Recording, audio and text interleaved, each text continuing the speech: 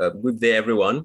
You are welcome to today's session on principles of auditing.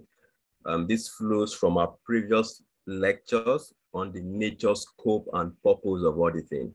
And so if you have not watched that um, class, that video of that class, I recommend that you watch that first before coming over to this, uh, because this is a continuation of that, uh, of that lecture. Um, this class speaks to the regulatory framework of auditing. And we actually started this section of the syllabus in our last video where we looked at um, the requirement to maintain proper books of accounts, the need for uh, the content, expected content of proper books of account. Um, in that video, we also spoke about the remuneration and appointment of auditors, what the rule says about that. And then we discussed about um, who is responsible for appointing auditors. And if you remember correctly, we said um, that auditors are generally appointed by the shareholders at an annual general meeting. But for the first directors, they would often be appointed by, eh, so for the first auditors, please, they would often be appointed by the directors. And whenever an auditor is appointed, the whole office for a period of one year until the next um, annual general meeting. We also discussed remuneration of auditors. When we say remuneration, we're speaking of salary, their pay. Um, who is responsible for fixing their remuneration. And, and uh, if, if, you recall, we said that uh, the remuneration would generally be fixed by the party that appointed the auditor for a period of one year.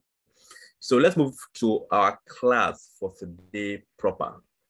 And today's class speaks to the requirement, the requirement, the regulatory requirement around, uh, we'll start with the removal and resignation of auditors. Um, so this section, uh, this part of the class speaks to um, conditions under which an auditor can leave the audit client or the company they are auditing. Um, think of it like um, an employee of an organization. Um, there are a number of uh, ways employees leave an organization. Think of it that way. So for an employee, you could decide um, after, after working for some time that you want to leave, you want to resign. You no longer want to continue with that um, employer. Um, a second way an employee could leave business is you're looking at the fact that um, the, organi the organization itself, not the employer, this, not the employee this time, but the organization itself decides that possibly the employee is no longer required because of uh, possibly error in his or her work. And they feel that uh, they no longer uh, have the skills and the knowledge to continue with that work. That's the second way an employee could leave. Um, the third way is if the employer decides that um, this employee, it's time to replace him or her. And then the fourth way someone could leave a job, it's related to contract related rules. You know, there are some rules that uh, some jobs you take on that uh, is valid for like a, a, number of years, say two years. And then after two years, you decide you ask to um, renew that contract. And so at the end of the two years, you could decide to accept that renewal or not to accept the renewal. Um, so th thinking of it from that area, uh, um, when it comes to auditors leaving their client, there are a number of ways that they could leave, similar to the way employees leave an organization. However, to protect the independence and the integrity of uh, the auditing profession, company law provides certain rules with regards to resignation of an auditor. And these rules are the same for many um, jurisdictions, including countries like Nigeria and Ghana. So what are the rules? If you are an auditor and you decide today, I want to resign, I no longer want to serve as an auditor for my company or for this company, I don't want to serve as the external auditor. What are the steps you can take to um, for your resignation? The first step is that you need to notify the audit client, which is the company, of your intent to resign the appointment in writing. And that right, that letter should be addressed to the company's registered office address. So that means that oral form of resignation is not acceptable. It has to be in writing and addressed to the company, addressed to its registered official address with uh, the, the company's uh, uh, affairs. Now, in that letter where you indicate that you want to resign, the law requires that um, uh, that it, it provides for two things is stated on that letter. One of them is optional. The second is mandatory. So by optional, we, we mean you may decide to include it or not include it.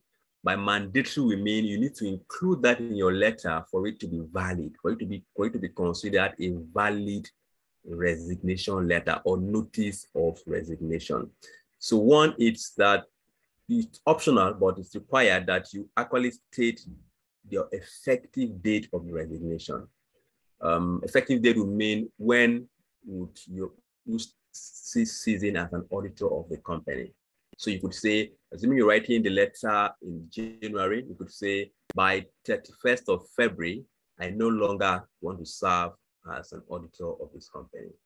However, if you don't state the resignation date or the effective date of your resignation letter, it is assumed that your resignation becomes effective by the date that the company is notified. So that is an optional uh, uh, provision or an, an, optional item that needs to be stated on the letter. But I said that there's also a compulsory element that must be stated. And that compulsory element is what is called statement of circumstance. So your letter will not be accepted as effective, even though you've stated your effective date, unless it contains that statement of circumstance. What is the meaning of that word, statement of circumstance? When we say circumstance, that word speaks to um, the situation, the reason for your resignation. So you need to state in your letter whether there is anything you think should be brought to the, to the notice of the members or creditors of the company. Because basically your report, like we mentioned in, uh, in the previous uh, class, is to the owner. So if you're addressing a letter to the company and there is something that you think they need to know, possibly um, there's something going on in the company or you're not getting the required support and you need to you need to uh, discuss that with them, it's important that you state it in your letter of resignation so that statement you include is called statement of circumstance. And if you move in, if you don't have any reason, maybe possibly because um, of some other issues or some or just personally feel you no longer want to continue for some other uh, reasons, you should state that as, as well in your letter. So those are the those, that's the key requirement for an auditor who wants to resign. Now the law also has some requirement for the company when they receive that letter. What are these requirements?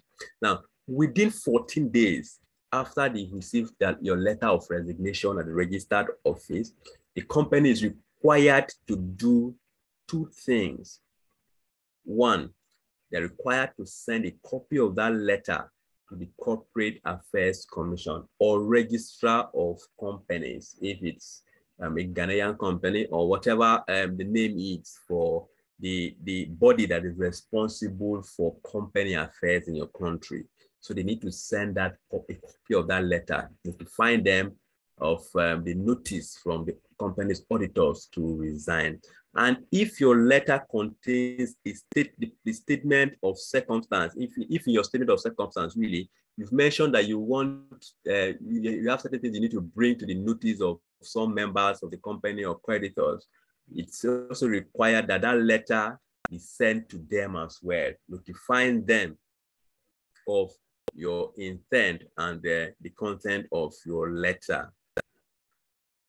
The fourth thing is that after the letter has been circulated, the law gives room for whoever feels aggrieved, whoever has some concerns about that letter or the statement of circumstance contained in that letter to apply to the court for review.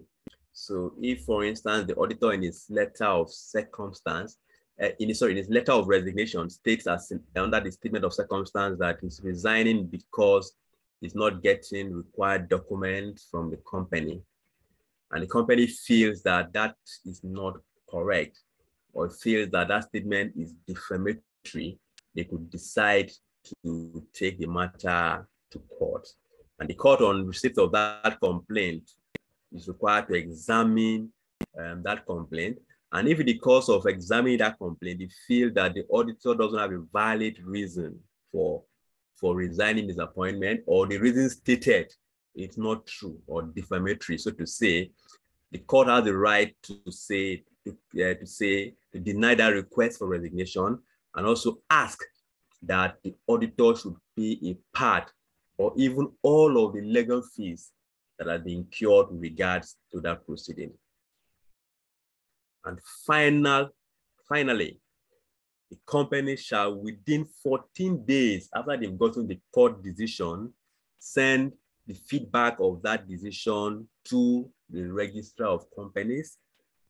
The shareholders and the creditors going to be required in notifying them of the order of court. These are the provisions for the removal of an auditor. So let's quickly run through that. One, it's you need to write the company. Two, you need to ensure that you include your letter a statement of circumstance, which is the reason for your resignation, or if there is anything you think you need you want to bring to the attention of members of the company, the owners of the business, or creditors.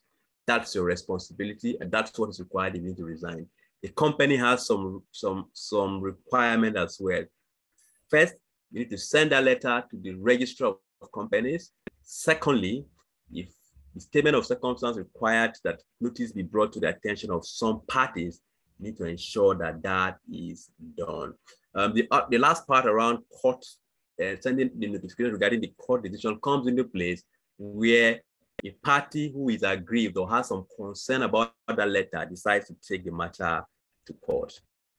So that is one, one way an auditor can leave its audit client.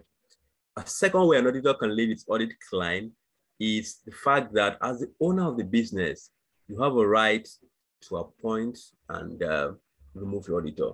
So the law provides for that, but you need to follow the laid down procedures. And so the owner of a company may by ordinary resolution passed at an annual general meeting remove an auditor from office at any time before the expiration of his term of office.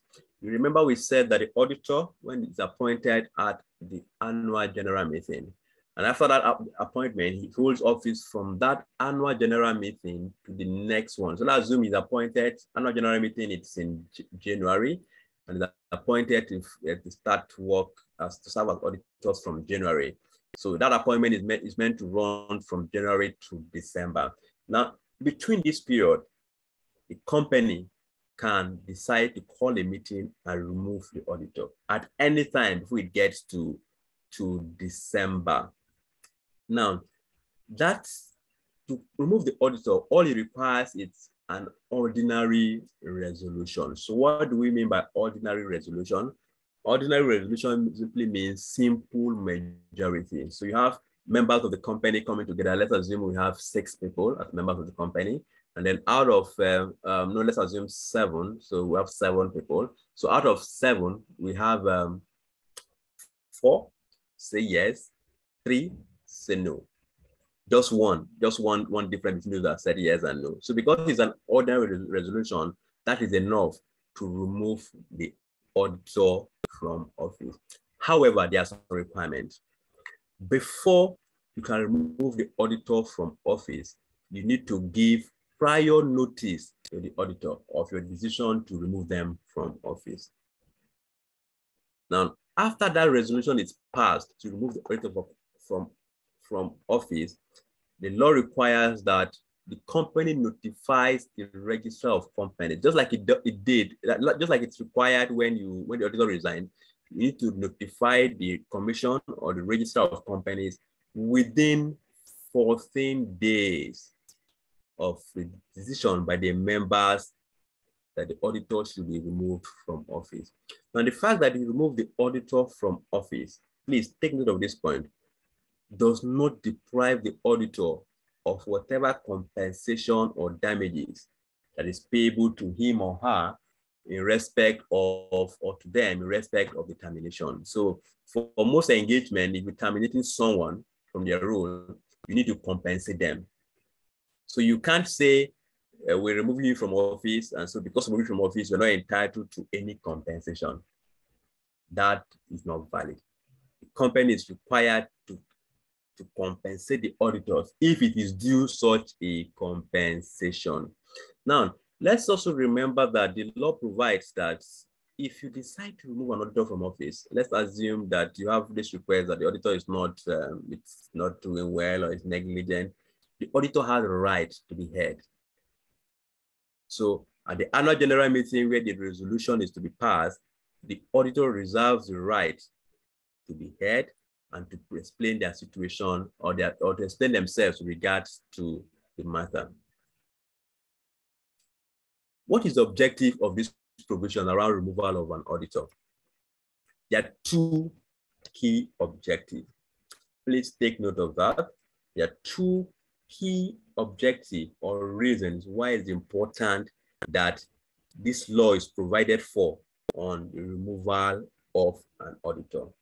One, it is to preserve the right of the shareholders to appoint the auditors of their choice. The shareholders are the owners of the business.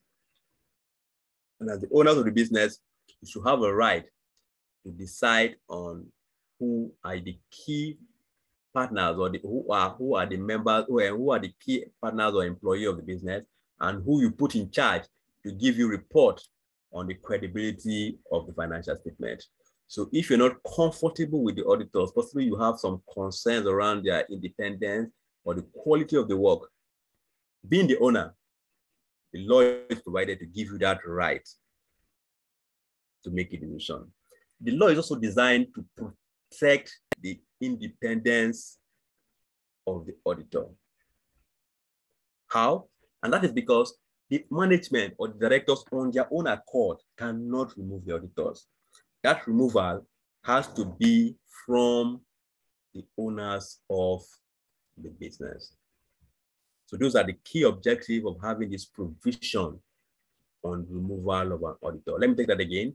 The provision on removal of an auditor is important to achieve two things.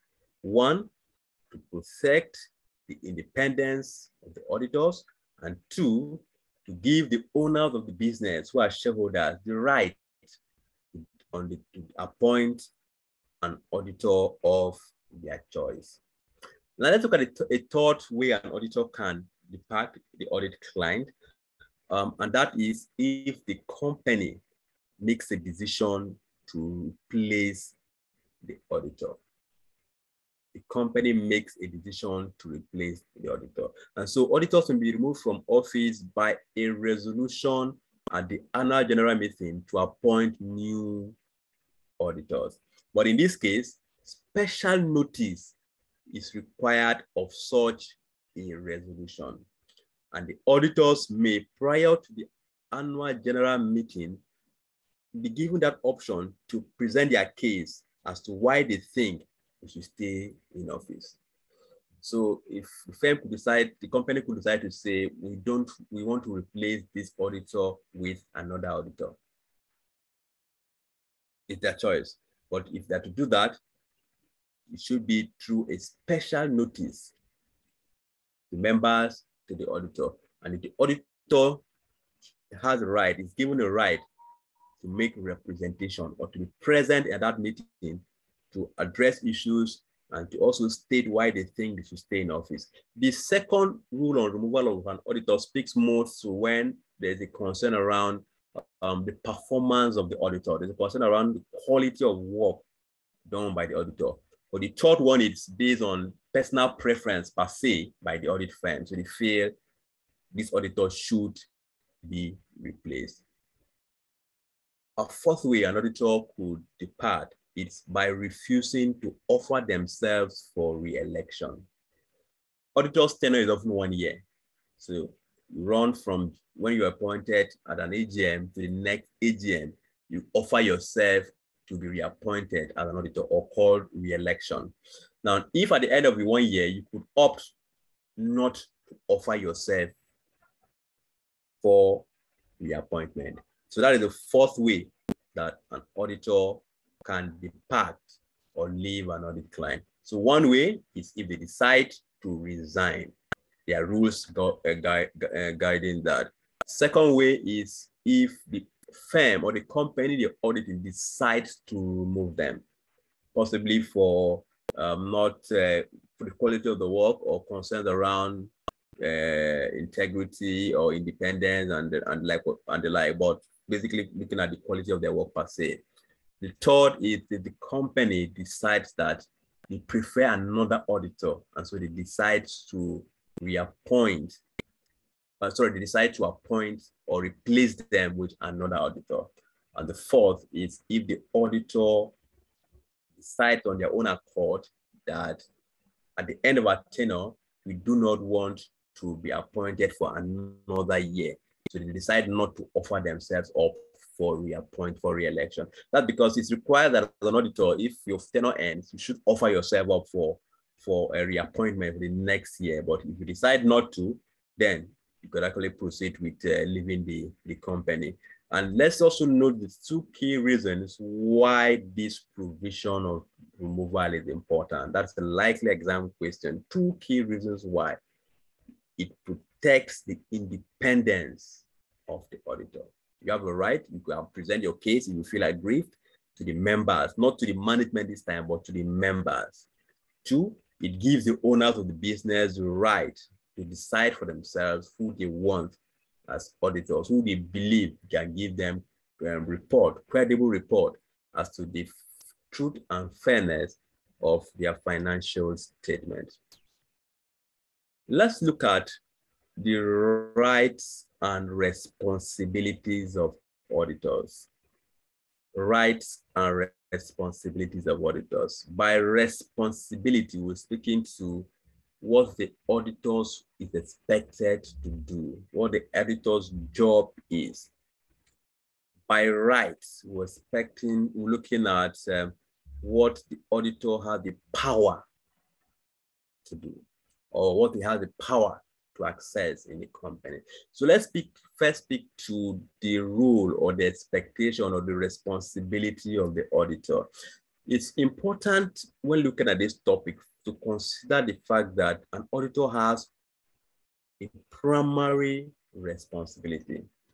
So what is that primary responsibility? There might be a number of sub responsibilities, sub expectation, but the primary and the key responsibility of, a, of auditors is to report to the owners of the company as to whether, according to them and their review, the financial statements of the company show a true and fair view about the financial situation of the company's affairs and has been prepared in accordance with the provisions of applicable laws, such as international financial reporting standards, if that's applicable for the company, uh, international stand, uh, com the company act as, uh, as well. It's important that the auditor provides that true and fair view. So that is the primary responsibility. That is the main responsibility of an auditor. Please take note of that. Now, in addition to this main responsibility, there are other secondary responsibility of an auditor as they carry out their work. Now, when you take a look at the company's financial statement, in, in addition to annual reports, really, in addition to the financial statement, we do have other statements in the annual report. You could possibly pick up one um, or set online for company that is listed on the stock exchange and look at, the, at their annual report. You'd see some other things in there. So you could have something called director's report could have something called the chairman's report. So the director's report, for instance, the directors are going to speak about a number of things. Okay, the economic situation in the country. They're going to speak about um, how they were able to weather the storm in the country, how they are uh, the challenges, the key challenges, and then they're going to speak about the result or the financial performance of the company. So uh, auditors are required to look at that director's report to ensure that it is consistent with the account and report the fact if it does not. So if, for instance, the report that was audited by the company shows that uh, in, the, in, the, in, the, financial statement, we're saying that the company made a profit of 1 billion. But in the, the director's report, the directors mentioned that the profit was 5 billion. There is inconsistency. The directors, so the auditors are expected to review and ensure that whatever the, the, the, the, the directors speak as regard the account is consistent.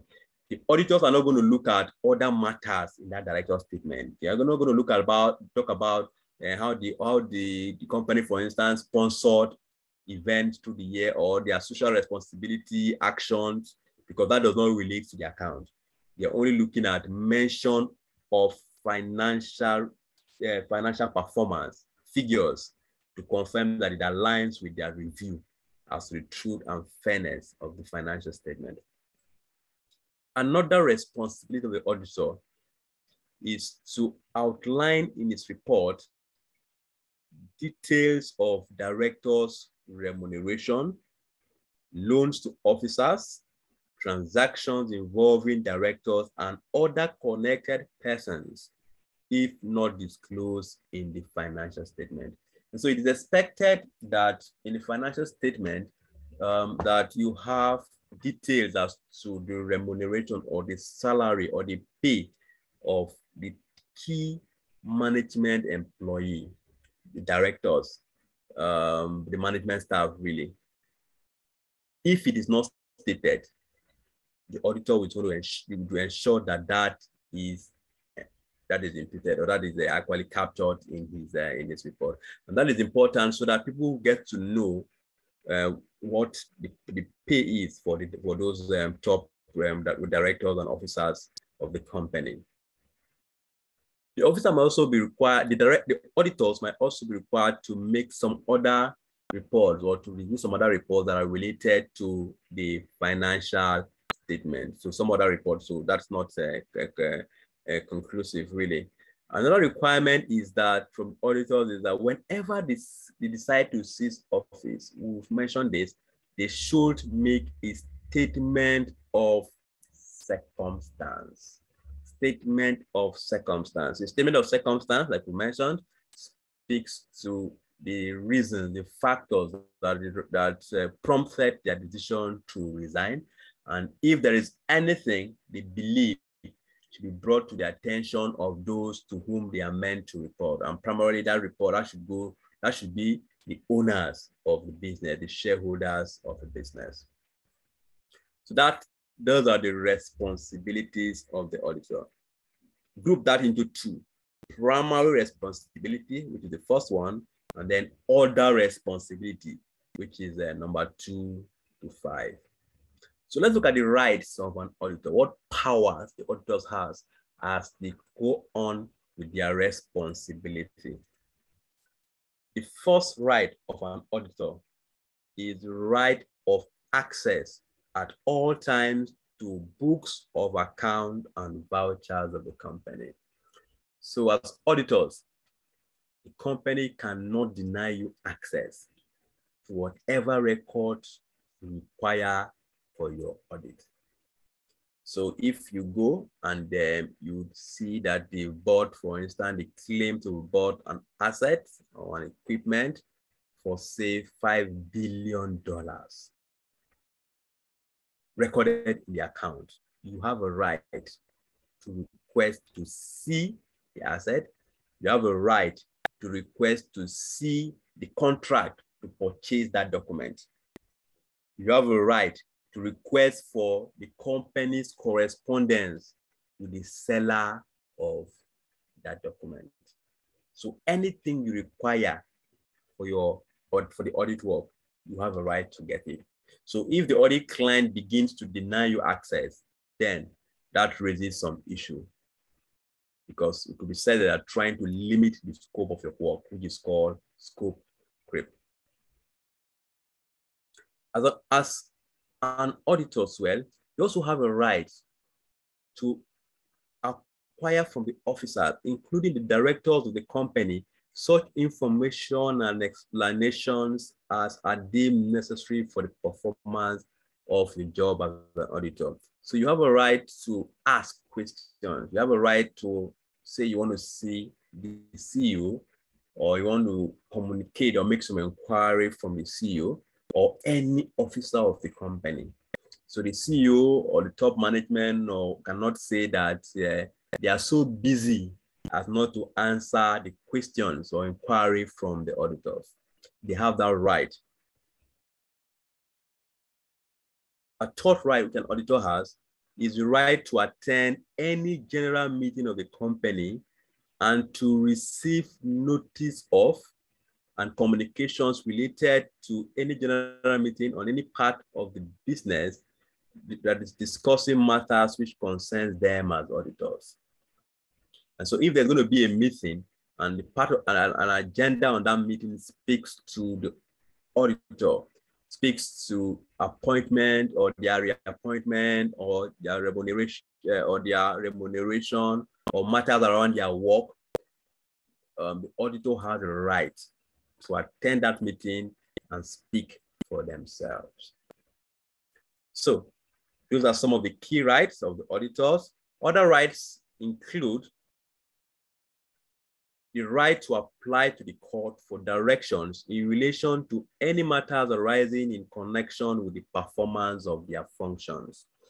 So as an auditor, if you feel that there's an issue that requires legal redress, there's a concern around your contract or engagement with the audit client that warrants going to court, it's important that the, uh, it's important to know that as an auditor, you have that uh, right, as long as it relates to the performance of your work. Long as it relates to the performance of your work. Another right the auditor has relates to the power to communicate with a retiring auditor. So that by retiring auditor, we mean if you're coming in as a new auditor for an existing company, you're most likely coming in to replace an officer that is retiring or the officer has left or is leaving. So that is called a retiring officer. The officer that an incoming auditor is coming to replace is called a retiring officer. Oh, sorry, a retiring auditor. So as an auditor, the new auditor, you have a right to communicate with the previous auditor because it, it's really proper and it's required really that you communicate with the, with the retiring auditor because you want to know if there are any issues that might affect your, your work and if there are any issues that you need to consider before accepting the engagement. Think of it this way, that you applied for a job and uh, you have this opportunity to speak to someone who has left the company that is something you would take, you want, you, you would want to miss because that gives you good idea around how they operate in that company you're moving into. Um, and if there are any issues or concern that you think might impact on you accepting the job that has been offered to you. So the officer, the auditors, the incoming auditors have that right to communicate with a retiring uh, with a retiring auditor before accepting appointment as auditor of a company. The auditor also has the right to contract with the company in addition to their statutory duties to the members of the company expressly or by implication or to undertake obligations to the company in relation to the detection of defalcations and advice on accounting, taxation, raising of finance and other matters. So in addition to your work as auditors, you have a right to be considered for other engagement that will not impact impact on your independence, on independence in carrying out your audit work. Long as you're able to provide adequate um, safeguards, you have a right to be considered for other engagements in the company. So those are the rights of an auditor.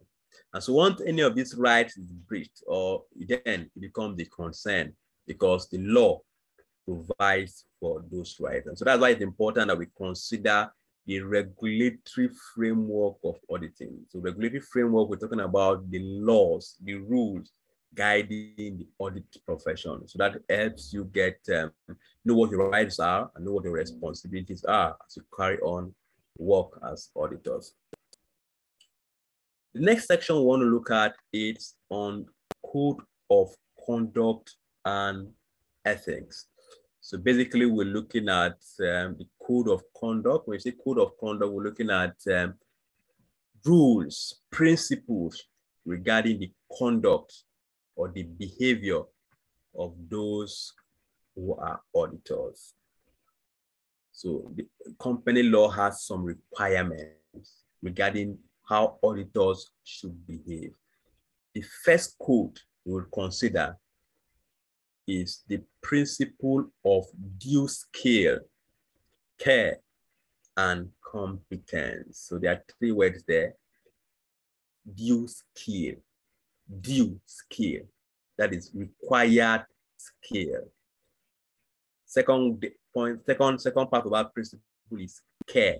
So care speaks to being careful, care and competence. You're careful and you know what you are doing. So let's speak to these principles because these are very important and expected behavior of those who appointed as auditor.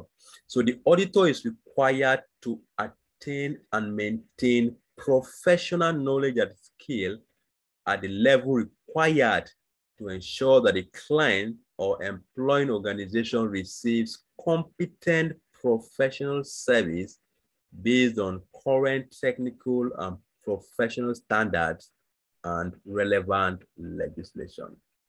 So as an auditor, you need to have the required knowledge and skills.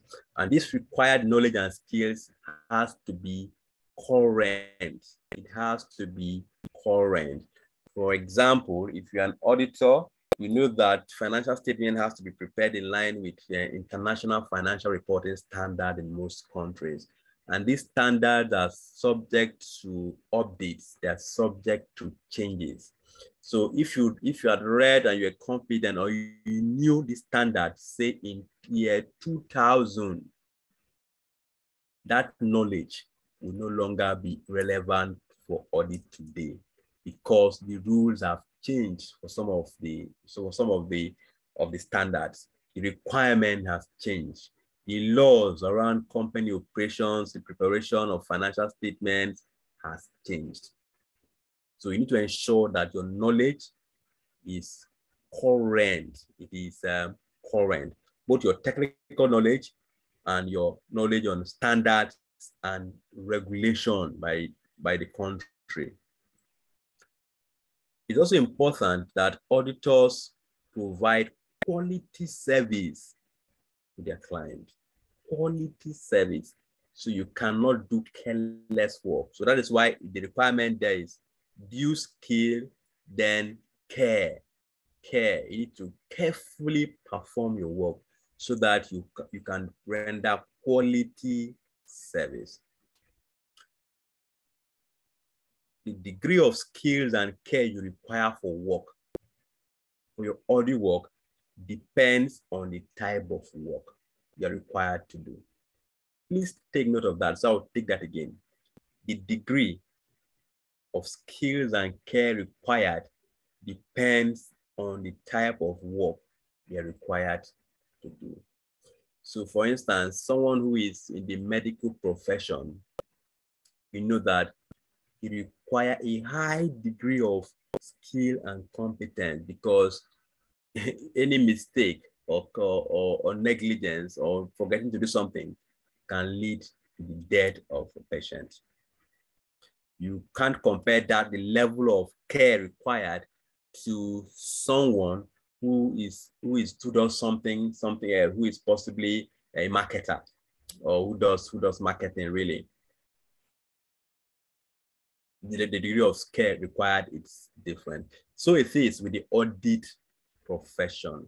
So if you're doing a specialized job, so by specialized job, I mean something that um, doesn't require special kind of skills and knowledge, that doesn't have a, a standardized method of accomplishing it. So for instance, you're going to do due diligence and investigation review. Now for due diligence and investigation review, you know that the, your approach depends on what you're investigating. and the parties involved. So that will require a higher level of skill and due care compared to when you're doing your regular audit. For regular auditor, for audit, for, for auditor, that is our primary responsibility. So we get to perform audit regularly. So with time, we know the in and out of audit. There are standards to help to guide us, there are frameworks to guide us. So we really don't have much challenge with that. So the so degree of care, the degree of skills required really is, is less compared to specialized work. Now, another factor that determines the degree of skills and care required it's where negligence is likely to cause high loss to the company. So two key factors determine the level of skills and care you require. One, the nature of the work. It is the, the most specialized a job is, a review is, the higher the degree of skills and care required. Two, the, the loss you would suffer if there is negligence. So if you're doing a review on the, you're doing re review on receipt, and possibly you're looking at receipt around a company procuring notebooks, just uh, just as stationery, you know, that's possibly you add up everything, it doesn't it doesn't go more than uh, 20,000, 10,000. Um, the level of care or skills required for that review will be different from if you're doing a review around um, a contract that is worth 10 billion. So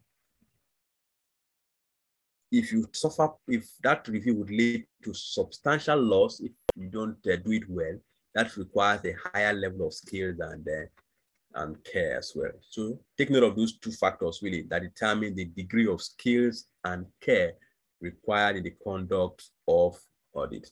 Now let's take note that as auditors, despite the fact that the rule requires that we we we we, we display due skills, care, and competence, that does not mean that auditors are infallible.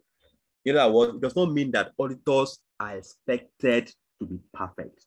No, but rather, what is expected from auditors is that they, ex that they do their work with reasonable care. So reasonable care would mean that the, the, the, the procedure you undertake to conduct that review, if you were to give that work to five auditor, other auditors to do, about four of them will do the same thing as you did. So that shows that you took reasonable care in the conduct of that audit. But if you did the job and then that job or that review is given to the other auditors, and out of the five auditors, just one auditor was satisfied or did that level of work we did, didn't go, didn't go beyond the level of work we did, then that will not be considered reasonable care. So reasonable care is what is expected of auditor. And reasonable care implies that if similar, a professional should agree with the level of work you have done.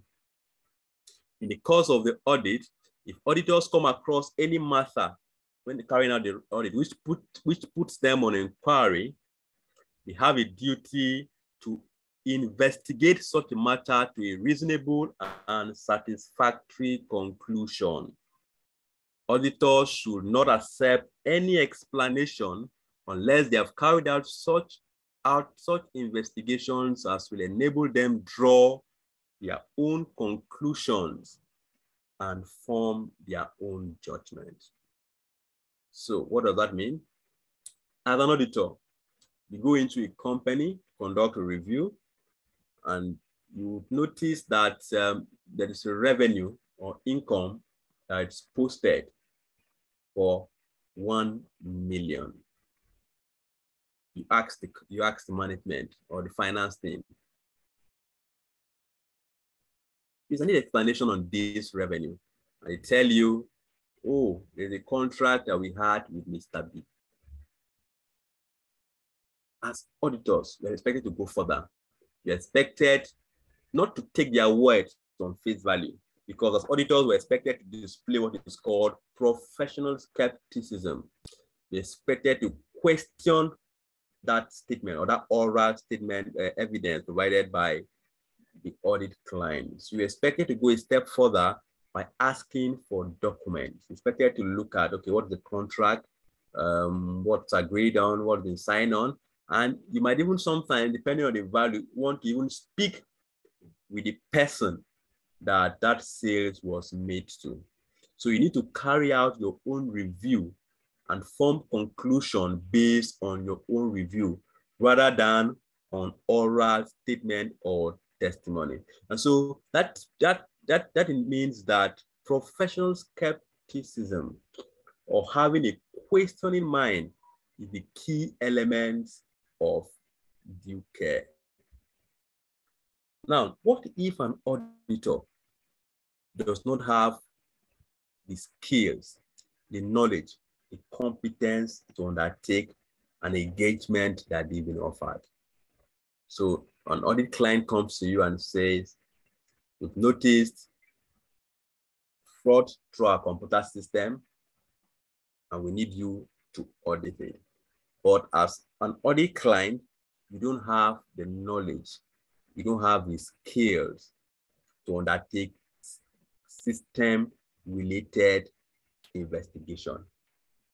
What should you do? If you don't have the skills, do not accept, except you can do two things. One, except you are able to obtain the needed advice and assistance that will enable you to carry that work out in a competent manner. So if you don't have the necessary advice, necessary assistance, do not accept the job. That is a potential exam question. So how do you get the necessary advice and assistance? So if you don't, if you have a job to perform and you don't know how it is done, there are basically two options for you, or basically three options for you for really, three options for you. One is because you don't have the knowledge and skills, you decide not to accept that offer. The second option is you decide to employ an expert, someone knowledgeable in the field or in that area to carry out that work for you. And the third option is you decide to embark or train, embark on a training, seek training opportunities to develop your competence in that area. Now, if you can't get an expert and you can't develop yourself, have the uh, ensure that you have the necessary training and skills to be able to do that job, you have to reject that engagement. That is the regulation on conduct of a job or a review which the auditor is not competent as at the time the offer is made. Please take note of that. Let's look at a second principle relating to the conduct or behavior that is expected of auditors, and that is the principle of integrity. The principle of integrity requires that an auditor has to be straightforward, honest, and open in all professional and business relationship. So if an auditor tells you it is A, it should, it should be A. It should be the truth. So they should be what? They should be honest. An auditor should be open, meaning they shouldn't hide anything which could uh, impact on their work or that's related to their work, as long as it doesn't breach the confidentiality uh, rule, which we speak about um, uh, later on. So they should be open, they should be plain, they should come out plain, and they should be straightforward in their dealing. So integrity basically means fair dealing and truthfulness. What you say is the truth. You are not biased towards any party or anybody. That is the requirement as it pertains integrity. Auditors should strive for objectivity in all professional and business judgment.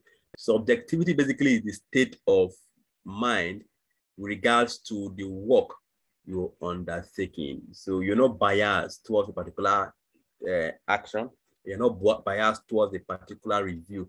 Take for instance, if you're going to review a company and you're conducting a review of a company, and then in the conduct, in the process of review, you have um, if a close family member working in the company, and you discover that um, there are fraudulent activities in the company, but then you're concerned that if you report it, it might lead to the sack of that close family member.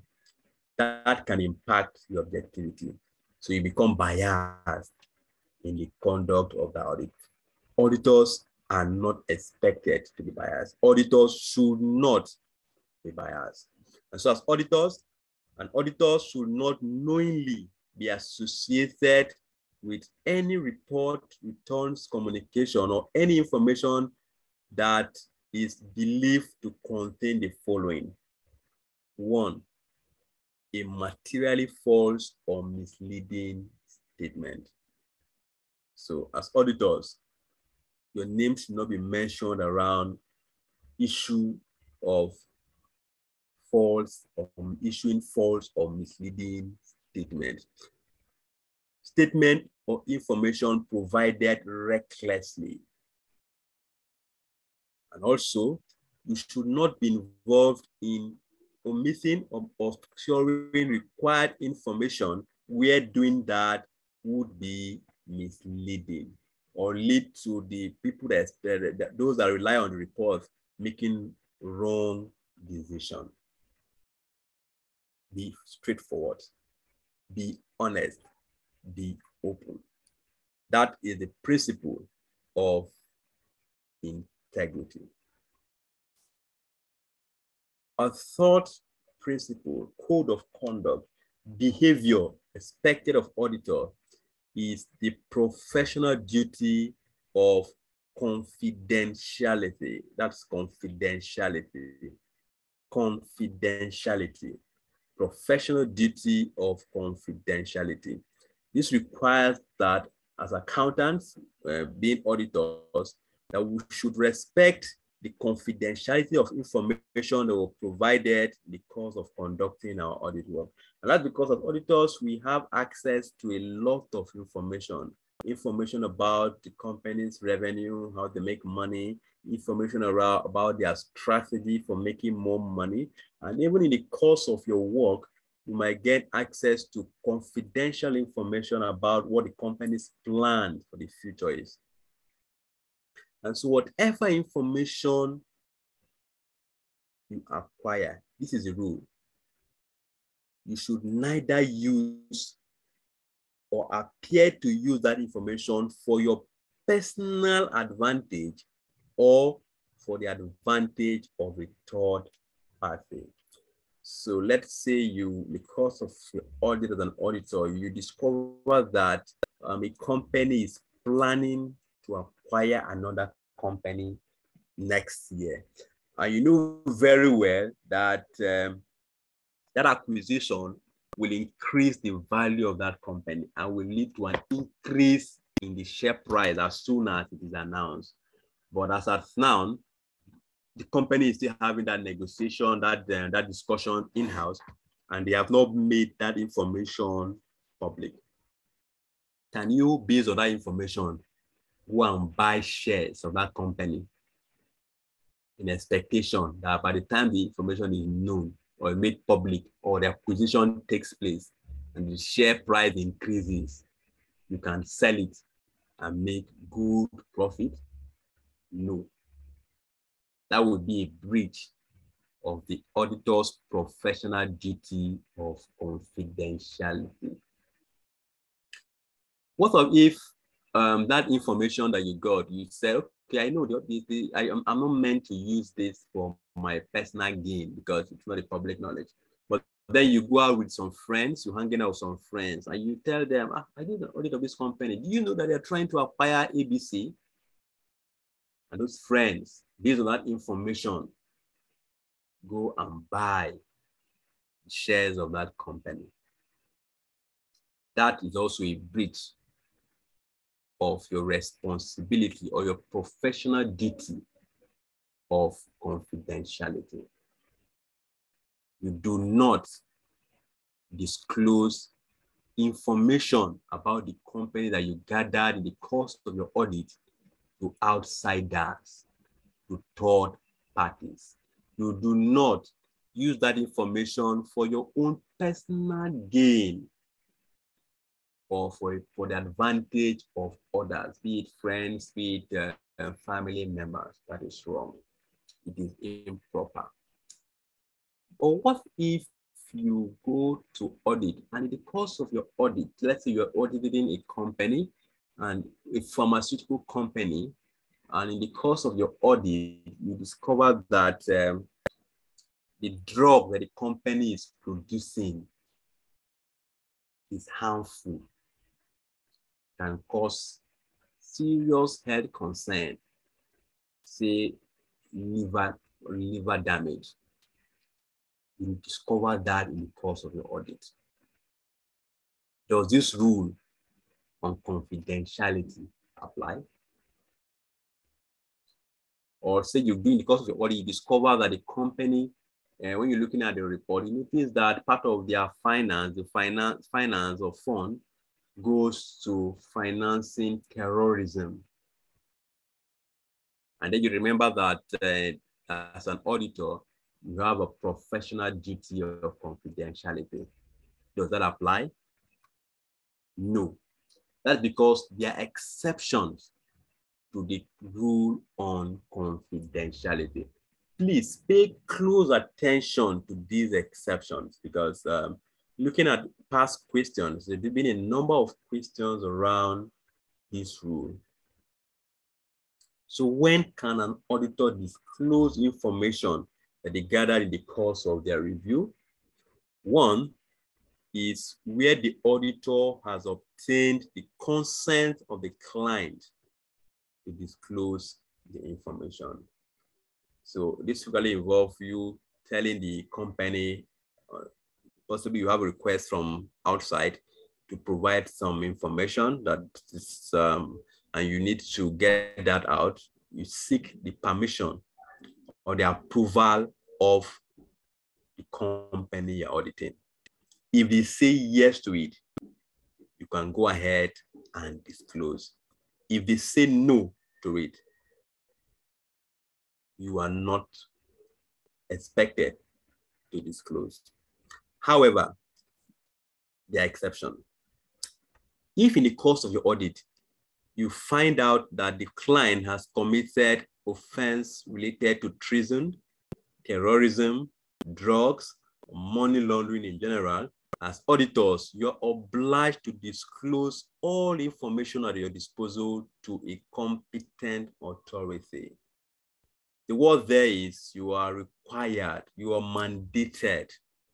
If you find out that your audit client is involved in any of these activities, money laundering, drugs, terrorism, treason, you should report it to a competent authority. The law of most countries speaks to the fact that things of this nature, auditors should report it to specific um, re regulatory authorities. So in this case, you don't need the auditor's consent to disclose that information because it is required by law. In addition to that, if there is a third exception to the rule really, is if there is a material non-compliance with laws and regulation. We'll speak a little bit more about the auditor's um, responsibility regards to this later on. But just take note that the auditor is required to consider whether any non-compliance with laws and regulations affect the financial statement. Where it does, the auditor is required to include this in his report. If such would lead to a material, if such would materially impact the financial statement. So the auditor is expected to include in his report a statement as to whether that non-compliance has led to a significant uncertainty or that non-compliance means that the auditor disagrees with the way certain items have been treated in the account. So you do a review and you find out that the company has breached a particular law. And then you review the penalties for breach. And then you notice that ah, when a company breaches this law, one of the key penalties is that its license will be revoked and the company would cease to operate. It's expected that that disclosure be made in the financial statement. Or you, you because of reviewing financial statement, you notice that the rules around how um, certain transactions should be treated was not followed. The rules around, for instance, how do you treat your um, your depreciation or your capital allowance in computing your tax, stuff like that. It wasn't it wasn't uh, it wasn't adhered to. So, so you so because of that now the, the figure you have in the financial statement that were treated that were, comp were computed based on that is not true and fair. And so if you disagree, you feel that because of the way it's been treated or non-compliance, you disagree with the way that item is treated and it's material to the financial statement, it's important to disclose it in the financial statement. A key point to note there is materiality. So when it comes to non-compliance with laws and regulations, that affect the financial statement, it's important to note that our focus is on material items or items that materially impact the financial statement. A third, a fourth, sorry, exception to that rule is where is the fact that an auditor has a public duty to disclose matters of public interest. So just like the case we mentioned, where an auditor goes in and notices that the pharmaceutical company is producing drugs and this drugs is poisonous, it's harmful. So that has an impact on the public. So as an auditor, you have that obligation or that moral obligation to disclose that finding. So the confidentiality rule does not apply to this. A fifth exception to the confidentiality rule is where disclosure is compelled by law. For example, if there is a court judgment or a court, court proceeding, and the auditor is asked to come and give evidence, you are required as an auditor to provide the required information truthfully because it is compelled by law. And so it will be a criminal offense for an auditor to act positively without lawful authority or reasonable excuse in such a manner as to impede with intent the arrest or prosecution of a client whom he knows or believes to have committed an offense, calling for arrest. So as auditors, you can't defend the audit client if he has broken the law. So you've, in the course of your review, you've noticed that the company makes transfer to a board or funding terrorism, makes transfer to bodies or terror, terrorist organization and then the auditor, the company is under investigation. And then the, the owners of the business come in and say, oh, that thing you, you saw. And please, we need to we need to capture it that the, when you did your review, the phone were actually transferred for something else so that we don't get arrested. As auditors, we need to be honest. We need to be open and we need to comply with the law So we're required to disclose truthfully information that is required by law. We do not want to be a party to, to obstruction of justice. Let's look at another set of code.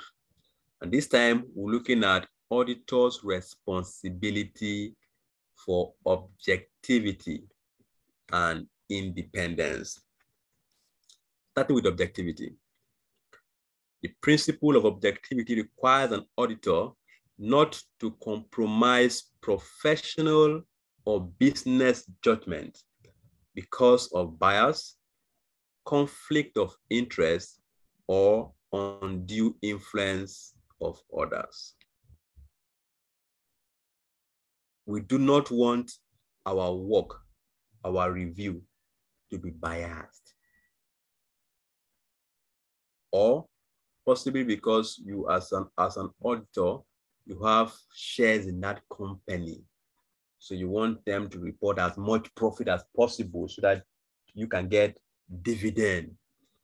And then in the course of your review, you've noticed that uh, there are some items that were not treated correctly.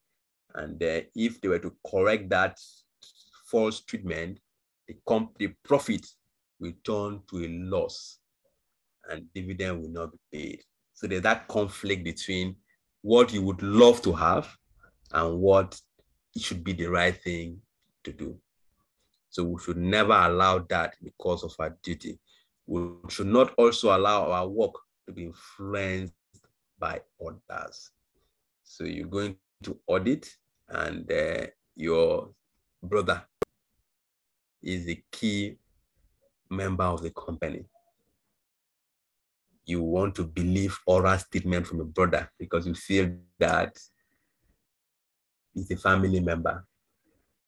If you do that, your work is being unduly influenced by others. So the principle of objectivity requires that auditors should, in carrying out their, their work, should not be biased, should be free from conflict of interest, and should not allow any undue influence on their work.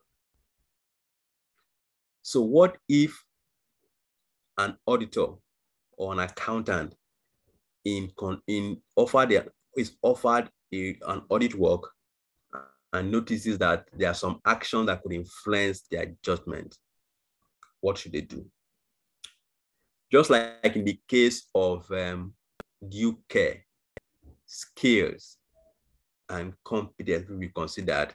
An auditor shall an auditor shall not undertake a professional activity if a circumstance or relationship in unduly influences their professional judgment regarding that activity as auditors or as accountants because uh, as auditors we actually professionally we're accountants as well. So you should not undertake any activity if you believe that a particular relationship or a particular situation will impact on your professional judgment. So um, if it's an audit firm, for instance, and then on the audit team, you have an audit partner or an audit manager that is related to the company. The proper thing to do is to replace that audit partner. So that auditor should not be involved in that, uh, in that review. Or the auditor has a significant shareholding, significant shares in that company. The auditor should not be involved in that audit because that situation would have undue influence on the work he is to undertake. So what are some of the things that could impact or could serve as a threat to auditors' objectivity? There are several, but the key principle there is that anything, any circumstance, any situation that you think would make you to be biased towards your review would impact on your objectivity. So that's the that's the the key principle. And that is the test, the litmus test, when you're evaluating a particular situation or circumstance. So let's look at some of some threats to auditors' objectivity, both at um, a company level in terms of the audit firm level at and at individual level in terms of the individuals that are form part of um, the audit team. So the first threat to objectivity is undue dependence on an audit client. As audit firm, we are there to make money. We need the money to ensure that we're able to pay the salary of the auditors that work in the audit firm. However, if all your income is coming from one or two, a few, let's say two, three um, companies, you will not want to lose your source of income. So that will impact on your objectivity because you might be concerned, you'd feel that if I annoy this client, I get, I make, I make, I make, I make one billion in a year and I get 800 billion from Mr. John.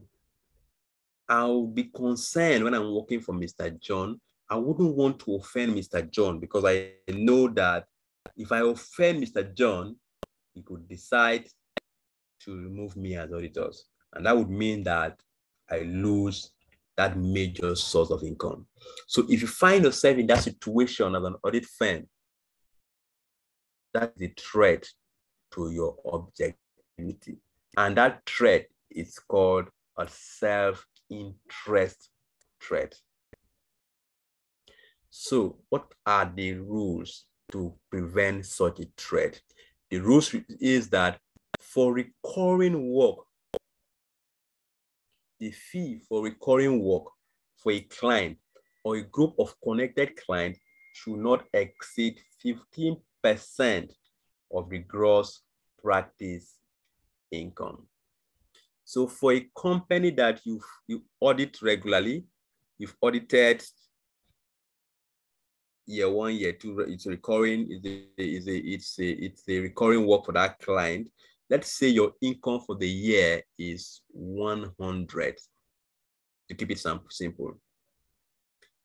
That shows, says that, that rule says that any income you're making from any of your client, recurring client, should not be more than 15. So if I have a job and let's say my total income is uh, let's uh, let's leave it at that 200 and I have a job from someone and that person is going to pay me 30 that would be a breach of that the, the, the rule on the gross practice income as it relates to audit client. But let's also note that this rule of 15% is if the client is not listed on the stock exchange. Where the company is listed on the stock exchange, the figure drops further to 10%. So for companies listed on the stock exchange, your, the income you are getting from them as fees should not be more than 10% of your total income as an audit firm for a year. However, if your audit firm is new, just just start just a startup, it might be difficult really because at the first year you're trying to market yourself, trying to get clients in. So in such a situation, in that, that situation might be really be difficult for you to satisfy satisfy this requirement. So in that in that case, it's important to ensure that whatever engagement you undertake, you put in place safeguards, appropriate safeguards to protect your independence and objectivity. So let's take that again. Your income from any company that is listed on the stock exchange should not be more than 10% of your total gross practice income for any company that is listed on a stock exchange. If the company is not listed, then you're permitted to have as much as to go in as much as 15% of your gross practice income. Anything outside that would impact, would likely impact on your objectivity. a second threat to auditors' objectivity is overdue fees. So by overdue fees, we mean work, you've done the work, but you've not been paid. So you have this work, this um, fee that's been accumulated over a number of years. So year one, they're owing you, year two, they're owing you, maybe year three, they pay you one year, owe you a part of it. So when you have these overdue fees with the audit client, it could also impact on your objectivity. So this could be likened to that of a loan.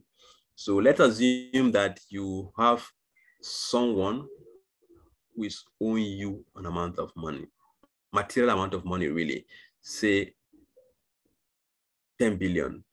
That's a lot.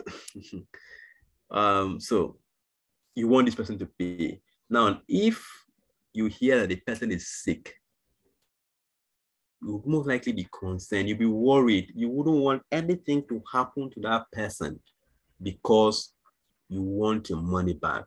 You have an interest in the well-being of that person. You don't want a person to go out of business because if they go out of business, there's no way you get your money back.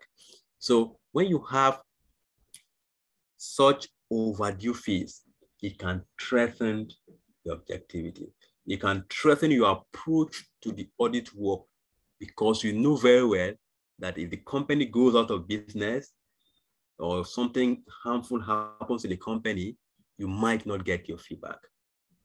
So to control this, firms must ensure that overdue fees along with fees from current work should not be constructed as a loan. Overdue fees could also be considered a seven threat. threat. A third threat to auditors' objectivity is when you have actual or threatened litigation. So we're talking about litigation, we're speaking to court action. So the auditor threatens you with court action, threatens you, I'm going to sue you for this, I'm going to sue you for that, I'm going to sue you for that. But the auditor actually takes you to court. That impact on your objectivity. Because if the auditor is threatening you, you would want to, you would want to, especially if you feel that possibly it relates to the quality of your work or something around that, you would want to maintain that relationship. You wouldn't want to make the, the, the, the, the you wouldn't want the, the audit client to be annoyed with you. But along with that, it is important to state that when you have such threats to objectivity eh, and such threats of legal action, that could result in the breakdown of trust between the auditor and the audit client. Please take note of that. Where there are cases of actual or threatened litigation that can result in breakdown of trust. And when there is a breakdown of trust, it impacts on the independence of the auditor or, the, or even causes directors of the client to become unwilling to disclose information to the auditor. So threat of litigation causes breakdown of trust the auditor's independence is impaired, is impaired. The directors were struggling to provide the required information to the auditors. There is an exception really which you need to take note of. A dispute which is only in relation to audit fees may not cause such a problem. So let's assume that the audit client, the client has been owing you fees for a number of years and you decide to sue them for that, that would not impact on your objectivity. That's very important. Now, what type of threat would we call litigation, especially when it is coming from the client? So that would be an intimidation threat because if the, court is the, the client is telling you, remember you meant to do this last time, you didn't do it this way or that, I'm going to sue you. They're basically trying to intimidate you to cave into their wishes and their and their requests. So that would be called intimidation threat. A fourth threat to objectivity of an auditor relates to family and personal relationship. This can have an undue influence on decisions relating to the affected party. The problem would often arise if an officer or senior employee of an audit is closely connected with the partner or senior staff members responsible for the conduct of the audit. So basically, if senior officers really of the audit client, really, senior officers, the employees of the audit client, if they're related to those senior partners or senior staff members for the audit, that will impact on objectivity. So let's say that the audit, audit team, a partner or a manager has an in-law who is the CEO of the company they are auditing. Obviously, that audit, that audit partner or manager will not want to annoy his in-law. He wants to maintain that relationship. So that familiarity might actually might actually impact on the auditor's professional skepticism because the auditor might not question everything that the, the, the that that that relative brings up because of that relationship, that familiarity that exists between them. And so that is why it is called what? Familiarity threat. Now, for this to really be an issue, for this to really be an issue, the audit staff involved should be a partner or a senior staff member. So if, for instance, in that audit team, you have a junior. So a junior is the, the lowest ranked member of an audit team, really. So you have a junior and his work is just to go and uh, cash, confirm a few things, count this, count that. He's not responsible for making decisions. He's not responsible for high risk area. Whatever decision the junior makes, or whatever this uh, outcome for the junior's work might really not impact on the materiality of the financial statement. It might really not impact because there are subsequent reviews by other members of the audit team. So in that case, that might not be a familiarity threat. Familiarity threat would only arise where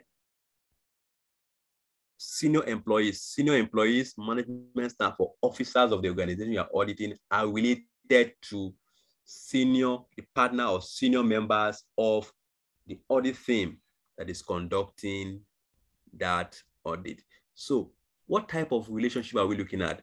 So in this context, closely connected people would include one, you're looking at auditor's children, spouse, siblings and their spouse.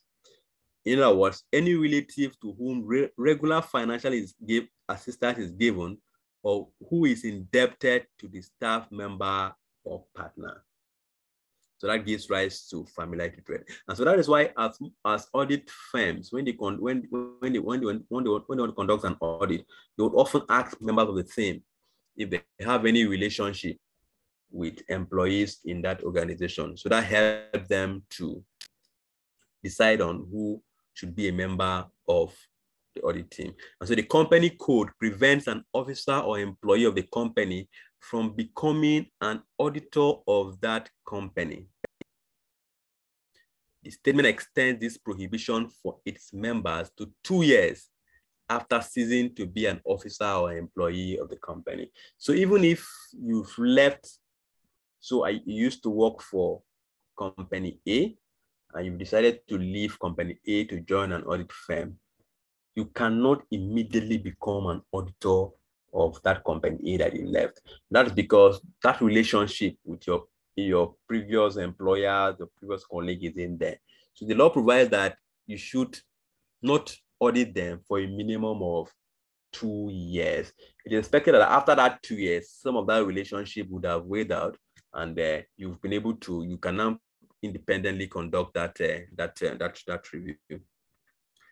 Another threat to objectivity is beneficiary interest in shares and other investments. So we discussed this earlier. If you have shares in a company, you want the company to do well because you want dividend. So you might be biased when you see something that might lead to them declaring loss. So you don't want that to happen. Um, another um, the sixth um, threat is if you have some level of association uh, from outside practice or outside sources.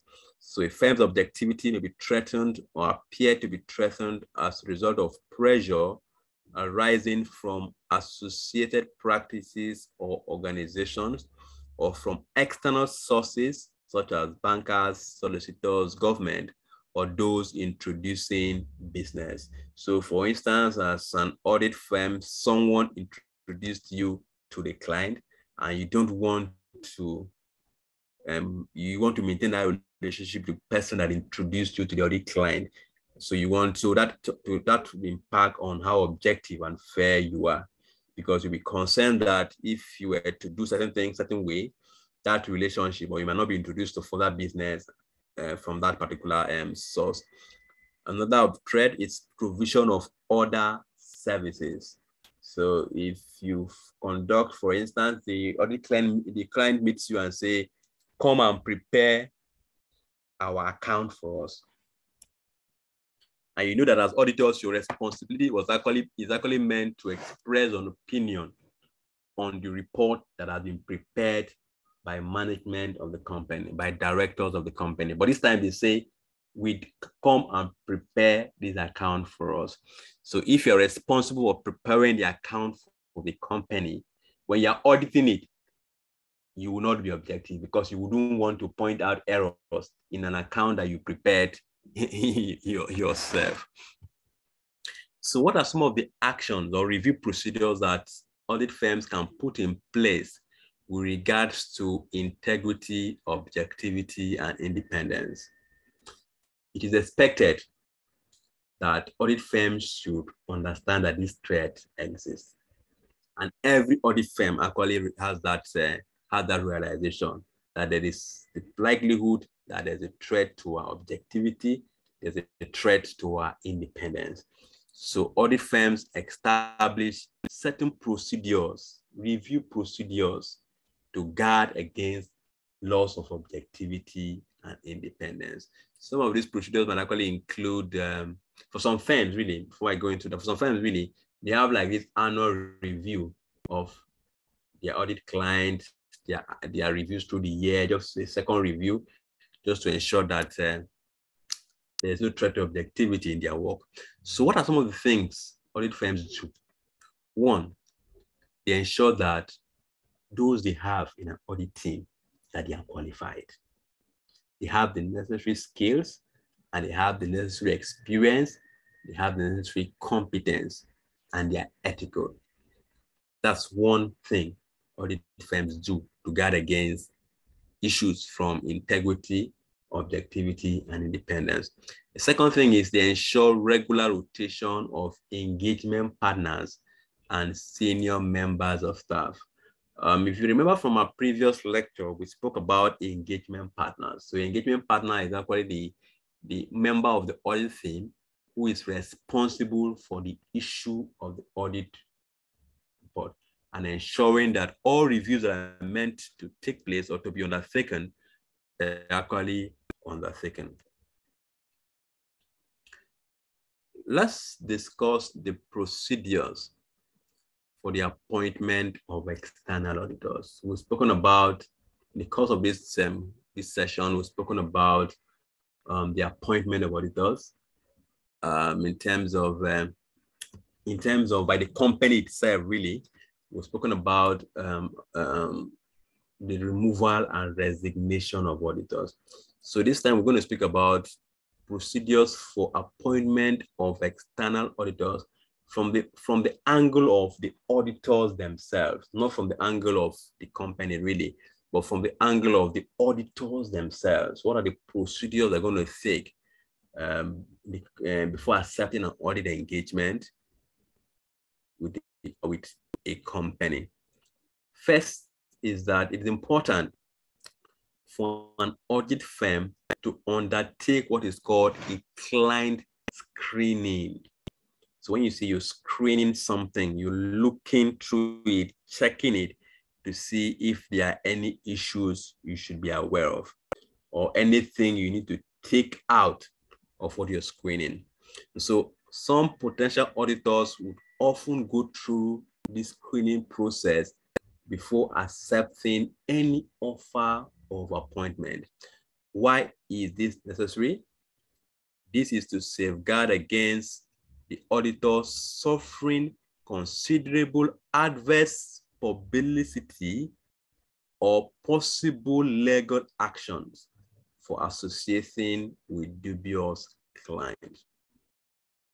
Please take note of those two reasons why an audit firm should screen whoever is coming to appoint them as auditors. One, it protects you against negative publicity. Because if you don't know who you are, who you are going in with, and you end up with a dubious client, company that has negative records, it will impact on your reputation. It will impact on your name and your, and your profession as well. So you could have that negative publicity as well. The second thing is if you go into working with a client that is known to be involved in dubious activities, money laundering and the like, uh, a client that hides records from auditors, when there are legal actions against that company, auditors will be called in. And they might even be part of those that are sued, okay, because they're an auditor. So come and explain why you didn't detect this uh, material um, deviation or gap in the financial uh, in the financial statement. So that is the reason why it's important that the screening process takes place. And so this screening process therefore aims at, aims at identifying risk associated with accepting the offer of a particular client and to access the level of control. So after you've conducted your audit screening, the end result of that screening is you need to make a decision as to whether you would accept the offer or not. If you decide to accept the offer, then it becomes necessary for you to formalize the terms of that engagement and have it documented and signed off in a letter of engagement. So we'll speak to two things right now. We'll discuss two main things now. One is how do you conduct client screening? And two is what is a letter of engagement? What are the expected contents in a letter of engagement? First, let's look at screening. So you have this audit client. Uh, sorry, this audit client, yes, this company comes to you as an audit company and say, we want to appoint you or we have interest in appointing you as our auditor. What are some checks or client screening you can undertake before giving a response to that company as to whether you accept or you want to decline their offer to serve as their auditor. There are a number of criteria. One is called pre-accepting condition. So before you accept an offer of appointment, you should ensure as an auditor that the principles of integrity, objectivity, independence, and other ethical requirements are not compromised. So you want to look at it and say, is there any circumstance any situation or any relationship between my audit firm and this company that is approaching us to serve as the auditors that will impact on our independence, on our objectivity, on our integrity as an audit firm? Do we have the necessary competence, the necessary skills to conduct that audit? So you need to ensure that this is not compromised before you consider moving forward. You also need to ensure that as auditors, you've been appointed in a proper manner with reference, particular reference to taking over from a retiring auditor by communicating with a retiring officer with the aim of discussing issues relating to the client. So we've looked at, we looked at the procedures for removal of an auditor. So you want to ensure that that procedures, especially if you are replacing, when you are replacing someone really, not when you are the first auditor of the company, when you are replacing someone, you need to ensure that that procedure was followed in the removal of the previous auditor. And that will require that you communicate with that previous auditor. So we'll discuss about the requirement for communicating with the auditor shortly. Second set of reviews we want to do is to look at ethical consideration, specific issues around threat objectivity. So you look at, is the fee from the job greater than 15% of the audit firm's gross fees for the year. So if you audit fee for, for the year, or you could use the previous year as benchmark, would say 100. And the company approaching you, the fee for that work is 40. That's 40%. That is above the recommended fees from a single client. Now, this 15% is if that company is not listed on the stock exchange. If the company is listed on the stock exchange, the rate will be 10%. So if it's above, if the fee from that engagement is above 10% of your gross fee for the year, you should not accept that engagement. You should also consider potential conflict of interest and other threats to objectivity and independence. So we've considered some of those threats to objectivity. So you want to review them as an audit firm and see if any of those threats impacts would impact on your performance of that audit, both at the firm and at individual auditors level. So things like personal relationship, investment in, the company that we've considered. You also need to consider in the screening process that you've met as auditors the requirement, the legal requirement to act as an auditor. So what are the legal requirements? One is that auditor must be member of a recognized professional body or a recognized professional accountant in the host country. And then the auditors should not be an employee of the company being audited. Should be an employee. And even if they are an ex-employee, remember that the law says that should have a cool-off period of two years. So after you've left the company, join an audit firm, you can only bid an audit of that company after after two years, after a two-year period. Very important. A fourth screening consideration, it's called practical consideration. By practical, we mean this is now related to the job itself. So the auditor must ensure that the firm's existing resources so the materials, the manpower, the equipment, everything you require to conduct the audit, that they are adequate to service the needs of the new client. This raises questions of staff and time availability and technical expertise. So there are two considerations there around um, resources really. One is that you have the technical expertise. You have the knowledge, you have the skills. You have people that have the knowledge and the skills to do that job. And the second thing is that those people are available to do the job. So if, if for instance, you have um, 10 audit, audit firm and you require five per audit, and you've had, you have um, the auditors, the auditors engaged in all audit engagement, and possibly you can only bring in record two out of this engagement or something because they're running up. Even though they have the skills, but they are not sufficient, they're not enough, they don't have the available time, they're not available to conduct that audit. So it's important that you have the skills and you, the audit, the, the relevant auditors are available.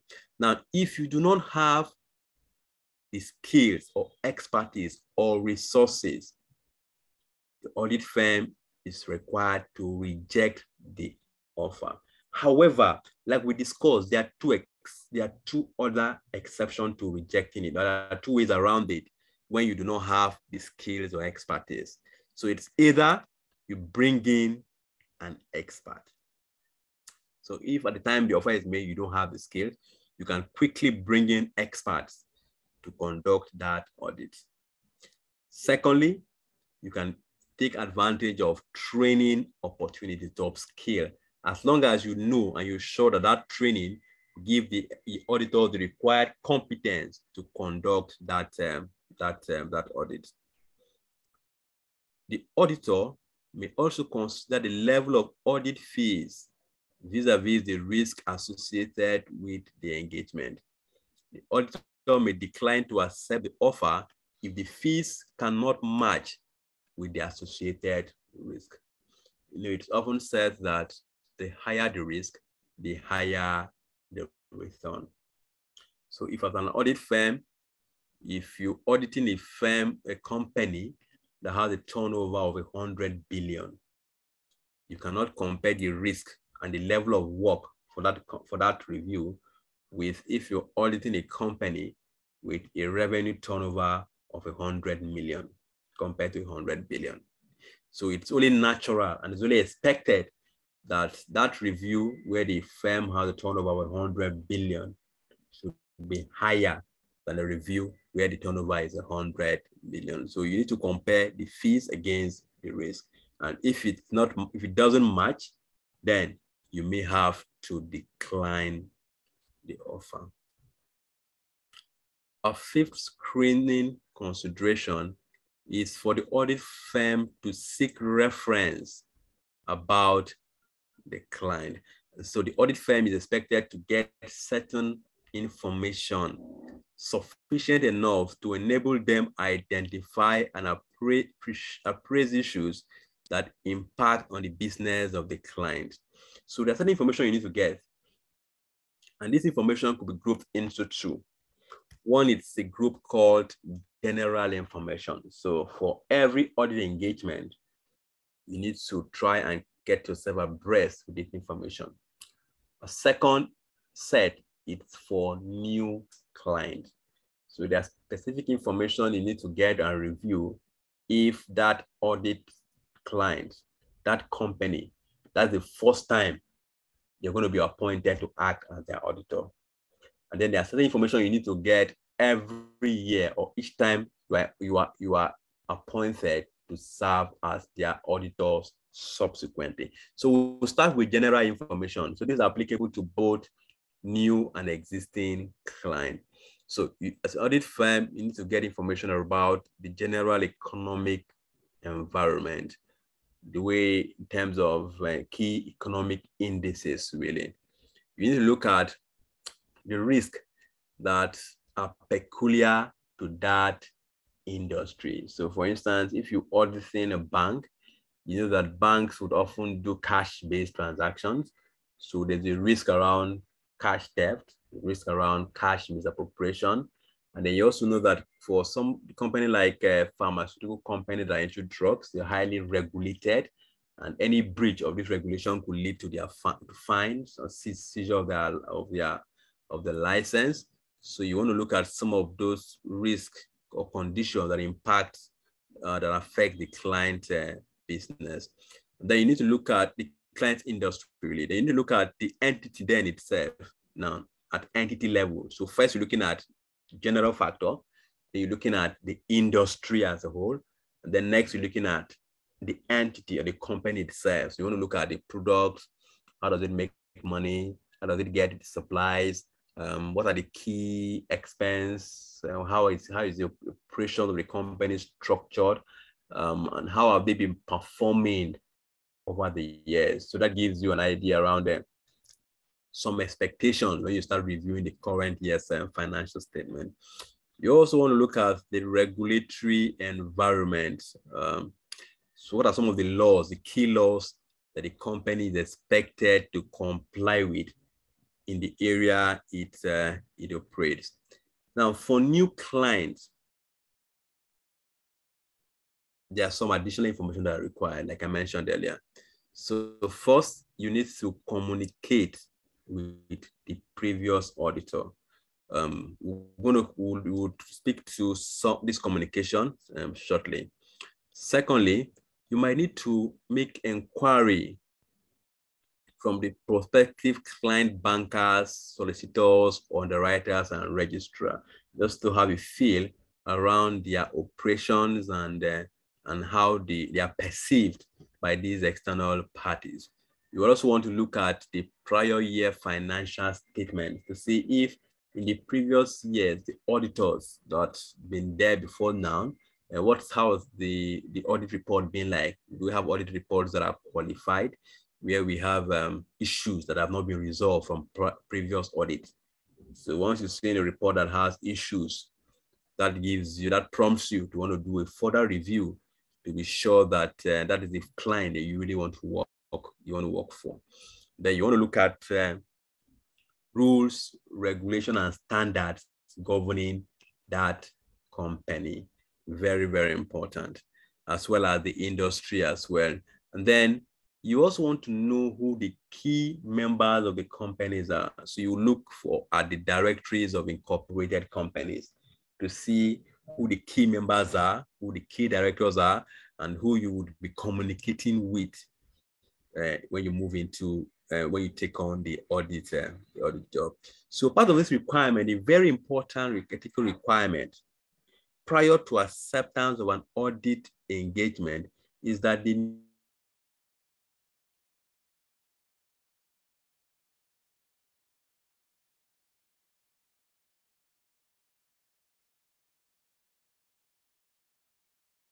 new audit firm is required to write to the retiring auditor should not be accepted.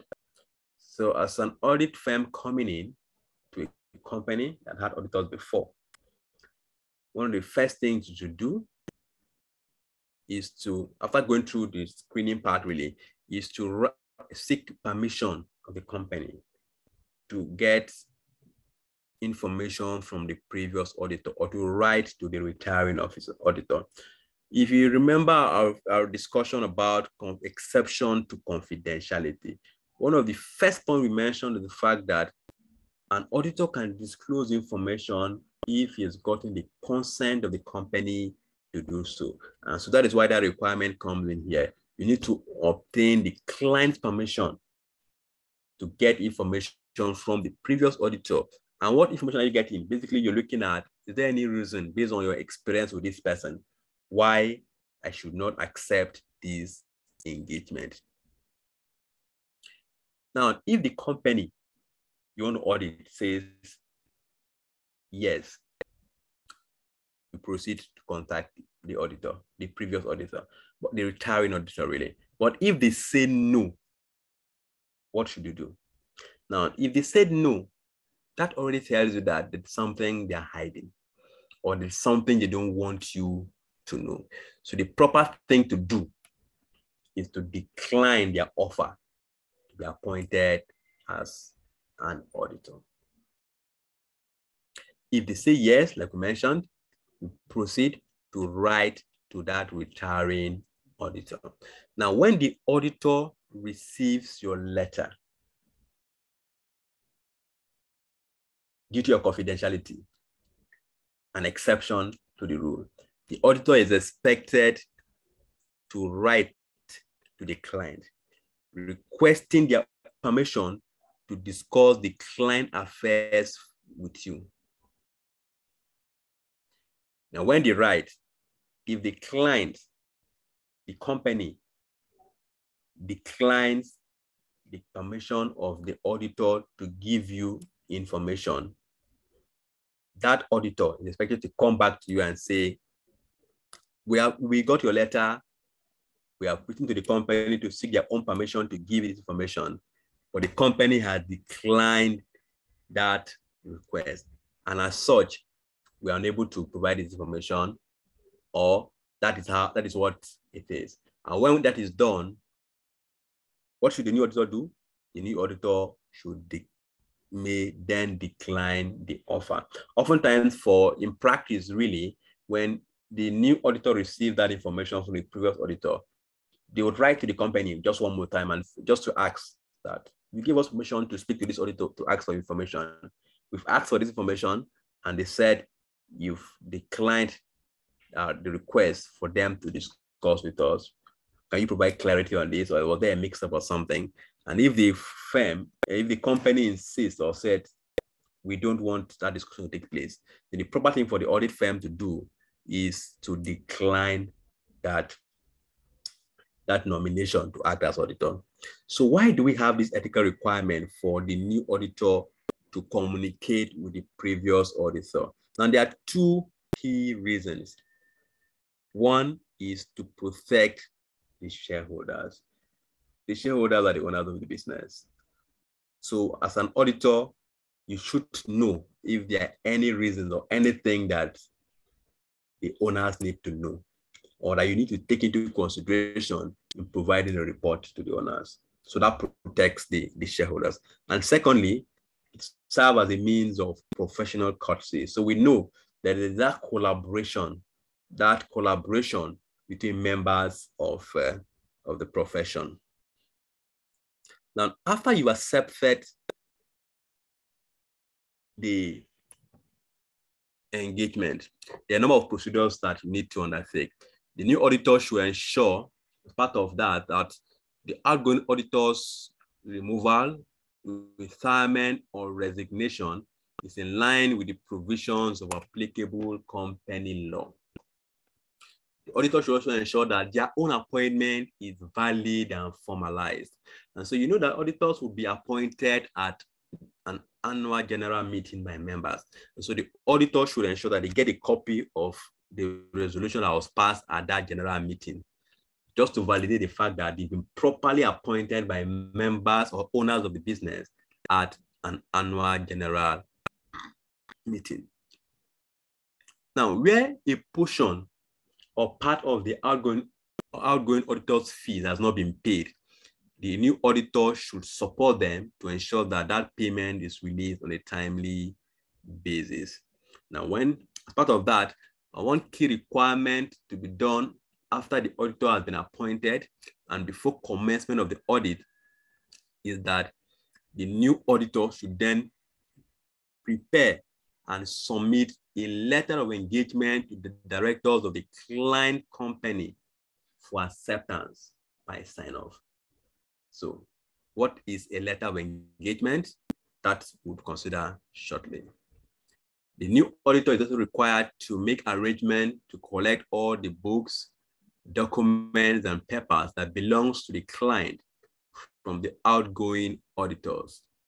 The outgoing auditors are expected to cooperate in that regard and transfer all such documents that are currently with them. So all the documents of the previous, of the client really, that are with the previous auditor should be submitted to the new auditor. So the new auditor should make arrangement to collect those, uh, those documents. However, there is an exception. There are some documents that the auditor cannot collect. And those will be records that were tied to outstanding fees. So if the if company is still owing the out the retiring auditor, and part of the agreement is the fact that some documents would serve as uh, as lien or collateral for so to say for that fee, then the retiring audit office or, or auditor is not under obligation to submit those documents to the new auditor. What the new auditor will basically do is to ensure that they support the retiring auditor in getting their fees paid on time so that those documents can subsequently be released. So we mentioned there that part of the post-acceptance procedure is that the auditor should submit a letter of engagement to the company directors for their acceptance or sign off. So what is a letter of engagement? Letter of engagement is a letter that is sent by the auditors to a client immediately the auditor is appointed and before the commencement of the audit. Please take note of when the letter of engagement is sent. It is immediately the appoint the auditor is appointed and it would ordinarily be signed off before the commencement of the audit. Why should that letter be signed before you start the audit? It is because of the content of that letter. So that letter of engagement sets out the terms of the engagement and forms the basis of the contract. So if we're going to enter into a contract for something, it's important that we both have an understanding as to what our responsibilities are. So as a company, what are you meant to do? What are you meant to provide? As an auditor, what am I meant to do? What am I meant to have access to?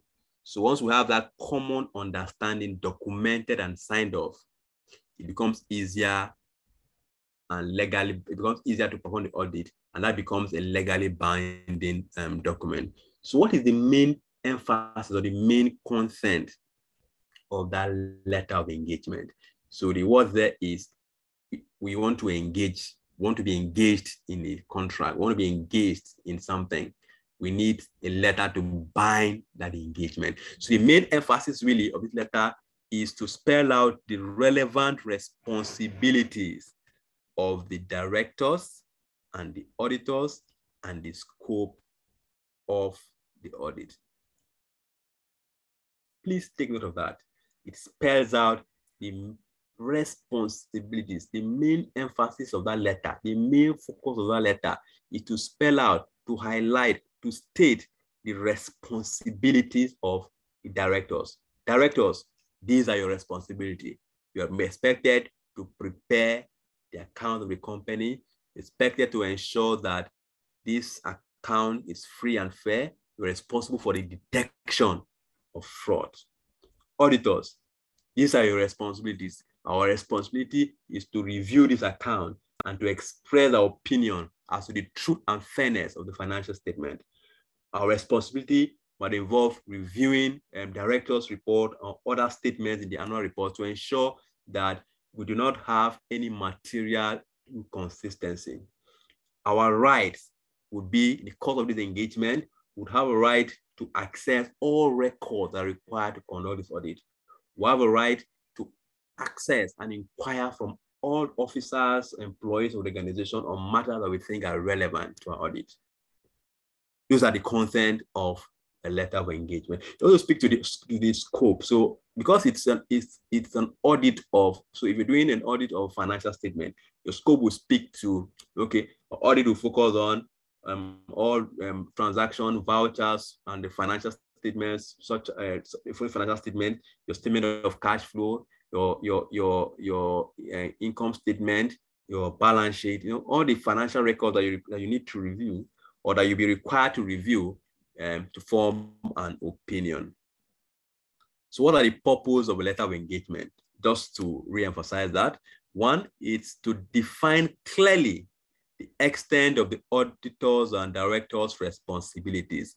By formalizing the terms of engagement, it helps to minimize the possibility of any misunderstanding between the auditors and the client. So there wouldn't be a case of, we are supposed to do this. No, I'm not meant to do that. Ah, you've done this and you stopped here. Why not do this as well? No, this is where this is where this our work is meant to end. We're only doing financial statement review. We're not doing, we're not preparing the statement for you. We're not investigating fraud for you. So it prevents such misunderstanding because the letter would have clearly spelled out the responsibilities of the parties. The letter also serves to provide written confirmation of the auditor's acceptance of the appointment. That confirms legally that they've accepted the appointment.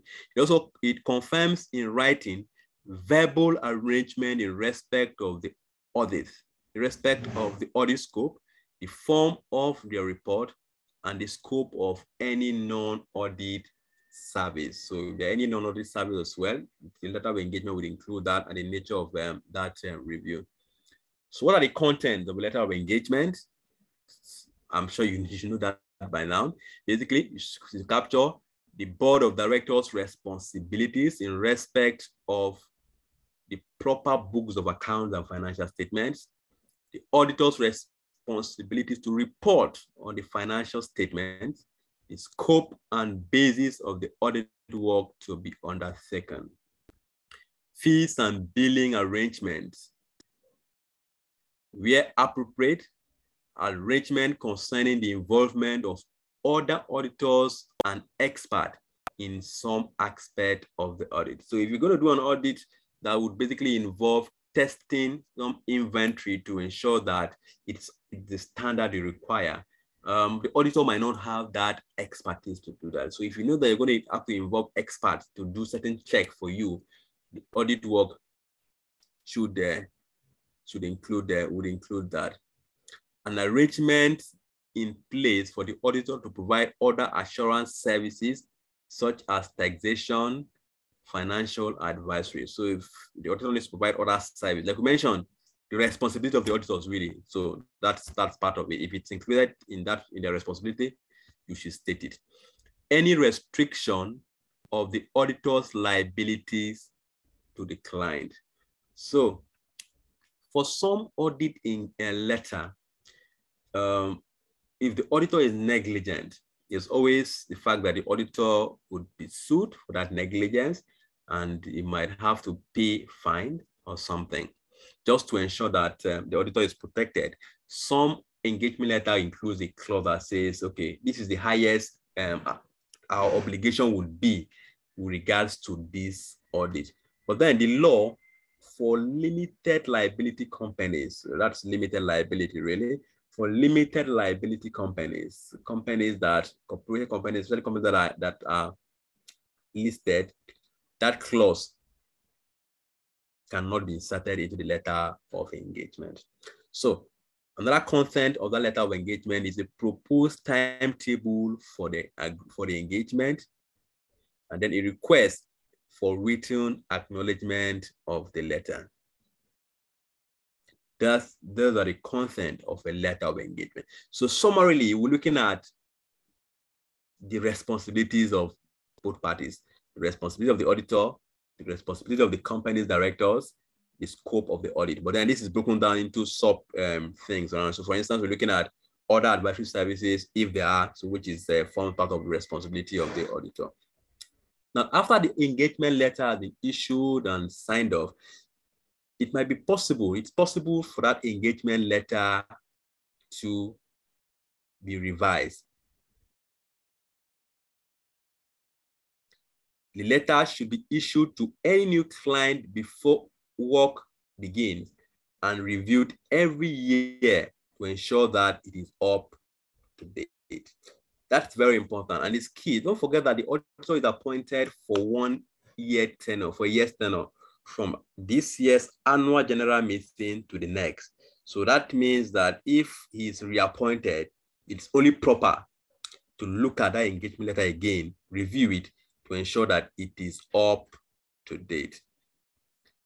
Another, another, another, another instance that can lead to a revision of that engagement letter is whenever there is a change of circumstance, possibly there's a need to have the auditor perform more work that was not captured before, or are new guidelines that the auditor needs to comply with or perform the material part of the review, or there's a change in the nature of the service provided or, or, or other terms of that engagement, it's only proper for a new letter of engagement to be issued to an existing client.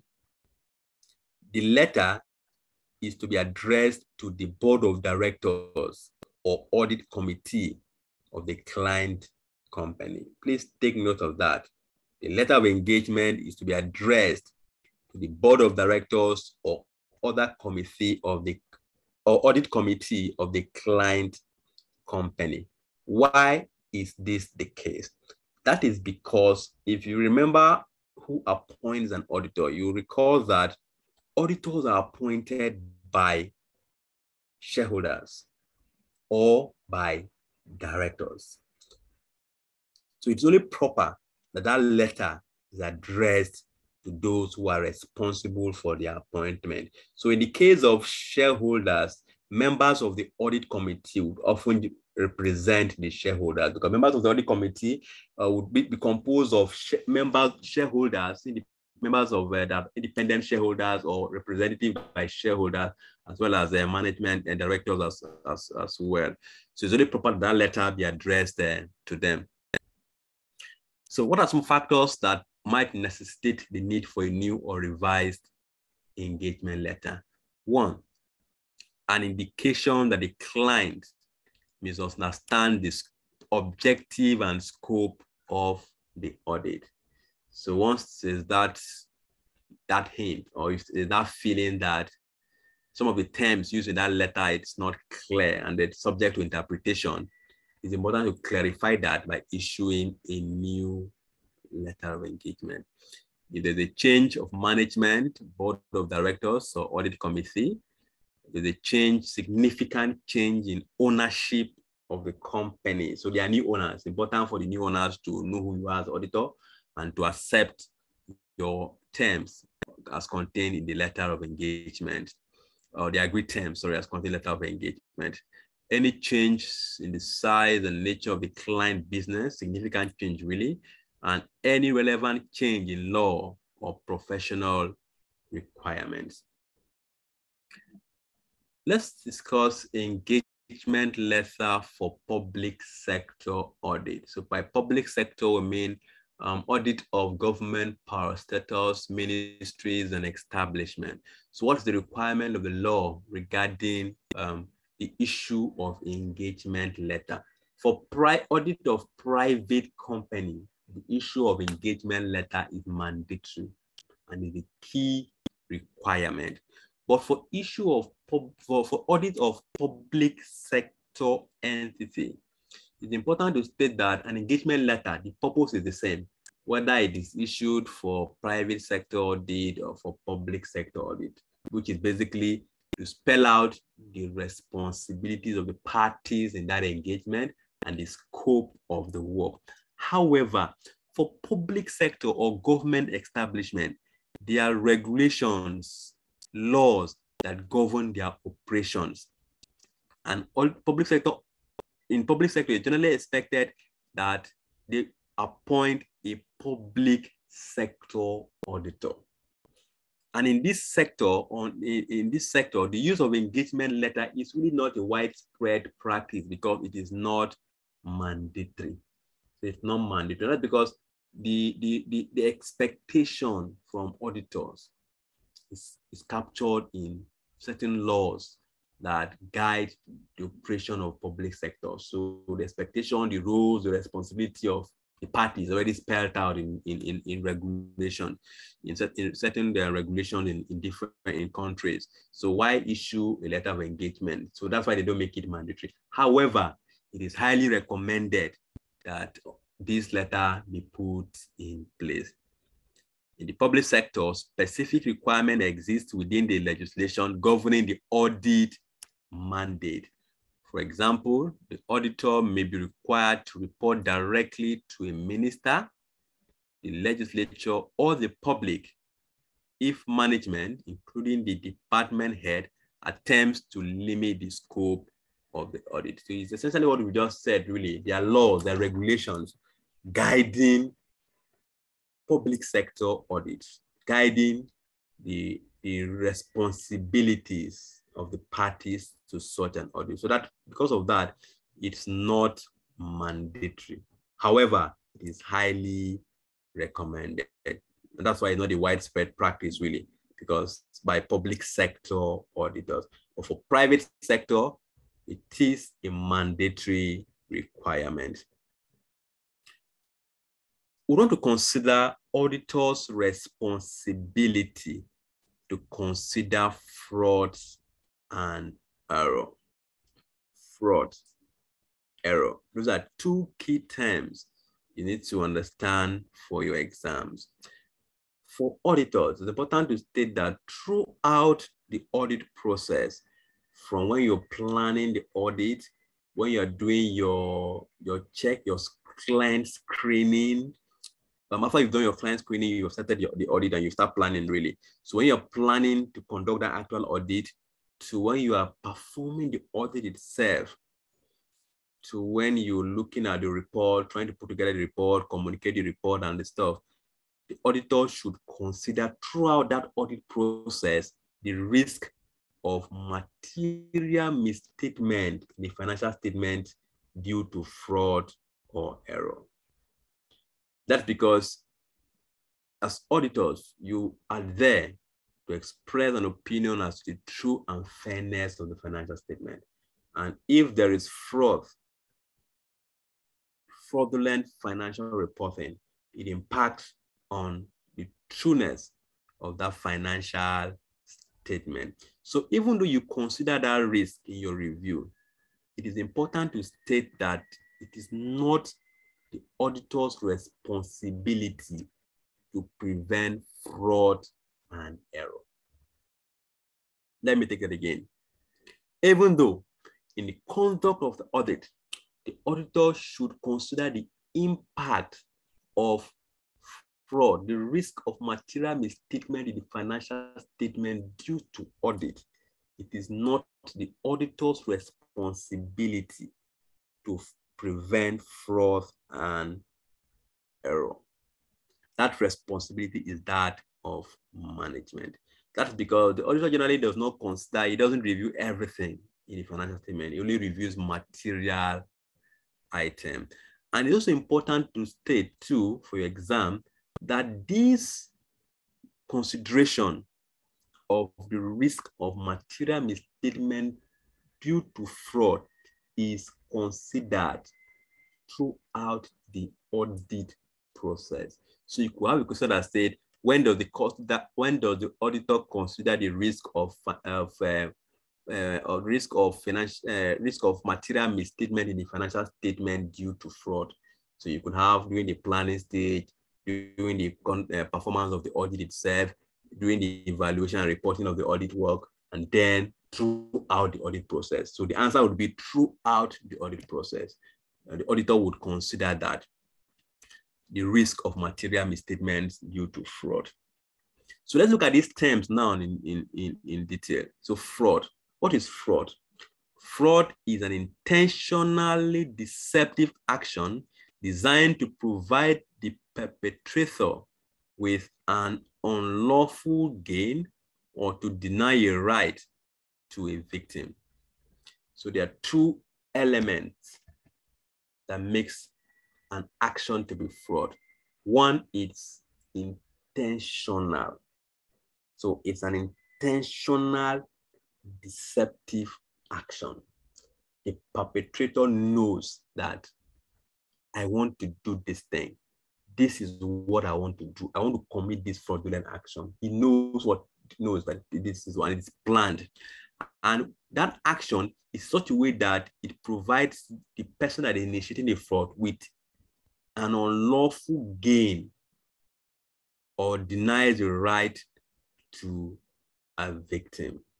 Those are two elements of, of fraud. And fraud can be carried out either by one person or by a group of people, um, either employees of the business as individuals or uh, colliding management of the business or even external parties. So for instance, you have um, vendors who have been employed, uh, third party vendors who supply goods to the, to the organization.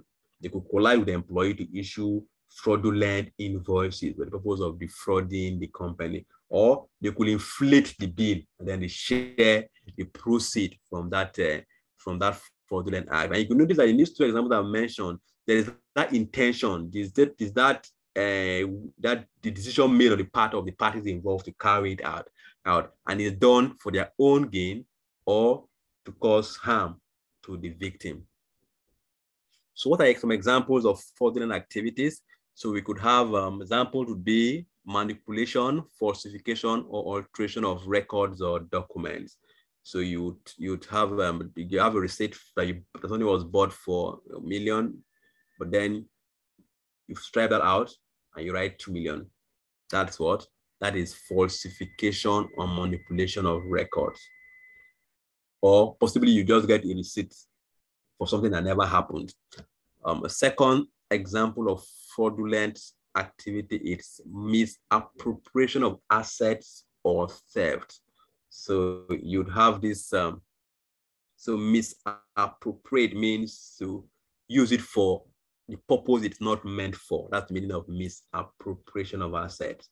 So that's another um, another um, example of fraudulent activity. So let's at, at its simplest form.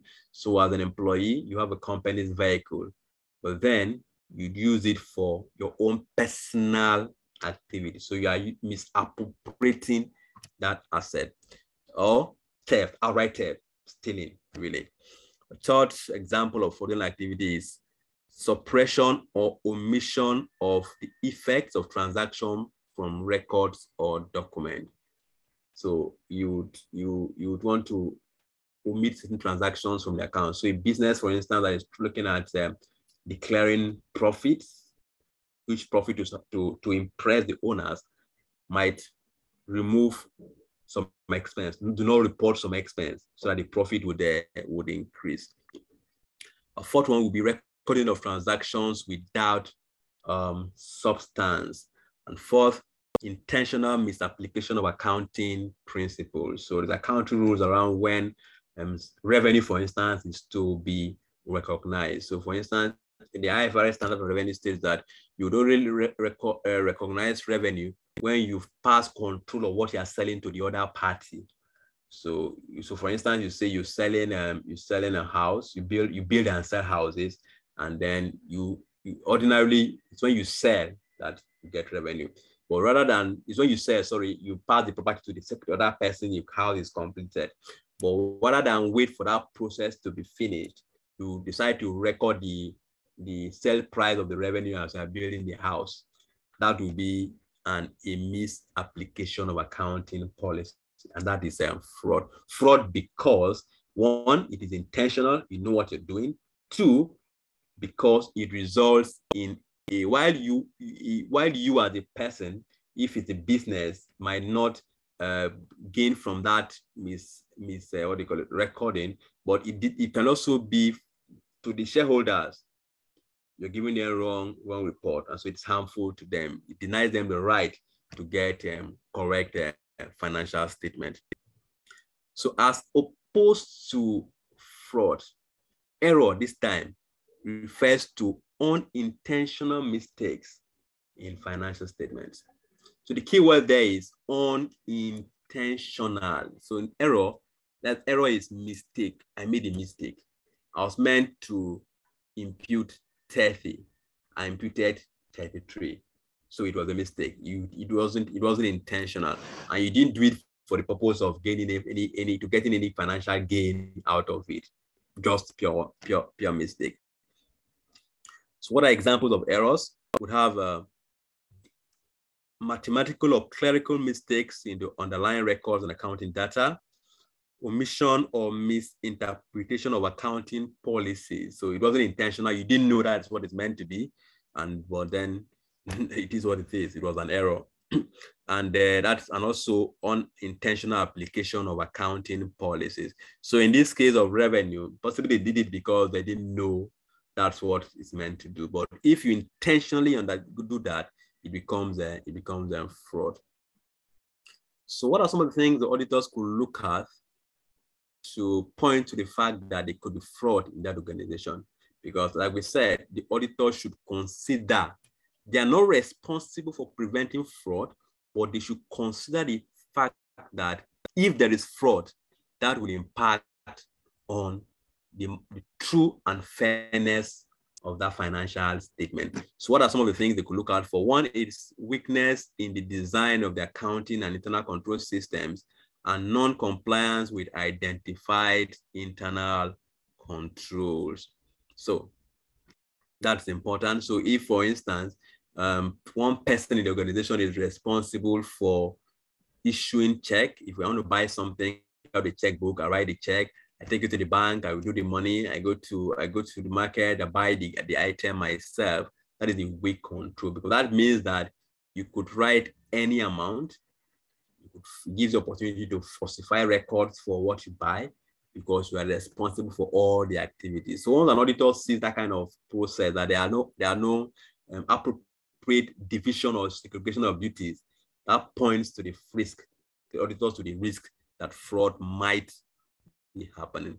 The second question is with respect to the integrity or competence of management. So once you start seeing questions, publication about management, integrity, management action, that points you to the possibility that the fraud could be happening. A third red flag we should note, note with regards to the possibility of fraud, it's when there is unusual pressure within an entity. So if as CEO, the owners of the business have told you that at the end of this year, we need our profit to be minimum of $10 billion. That puts pressure on the CEO. So the CEO would want to do anything to meet that target, including committing fraud or manipulating the financial record, inflating, inflating revenue. So if sales was uh, uh, 1 billion, you want, they might want to inflate the sales figure to 2 billion and put that that uh, that difference as uh, as debt that uh, we sold it to but they've not paid and they recognize uh, revenue but what they basically done is fraudulent financial statements so pressure undue pressure on members of the organization points us on the on the on employees of the organization rather points to the existence of fraud Another red flag you want to look out for is unusual transactions. So transactions that are not typical of that uh, of the organization. So if the organization has before now been doing all these transactions within the country, all its expenses within the country, and then suddenly you are seeing transfers to places like Afghanistan, Pakistan,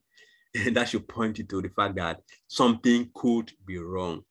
And then if you have a problem in obtaining audit evidence, you you want you want data, you take, I want this file. It takes like uh, weeks for you to get it. And even when they bring it, it's not complete. You have to ask for record again, you know. That tells you, professional skepticism tells you that something could be could be wrong um, somewhere. So, but as I highlighted, these are called red flags or indicators that fraud might be happening. They don't, they don't, they are not telling you that fraud has occurred they're not a, a, a ticker for saying uh, once I see on your transaction that is fraud.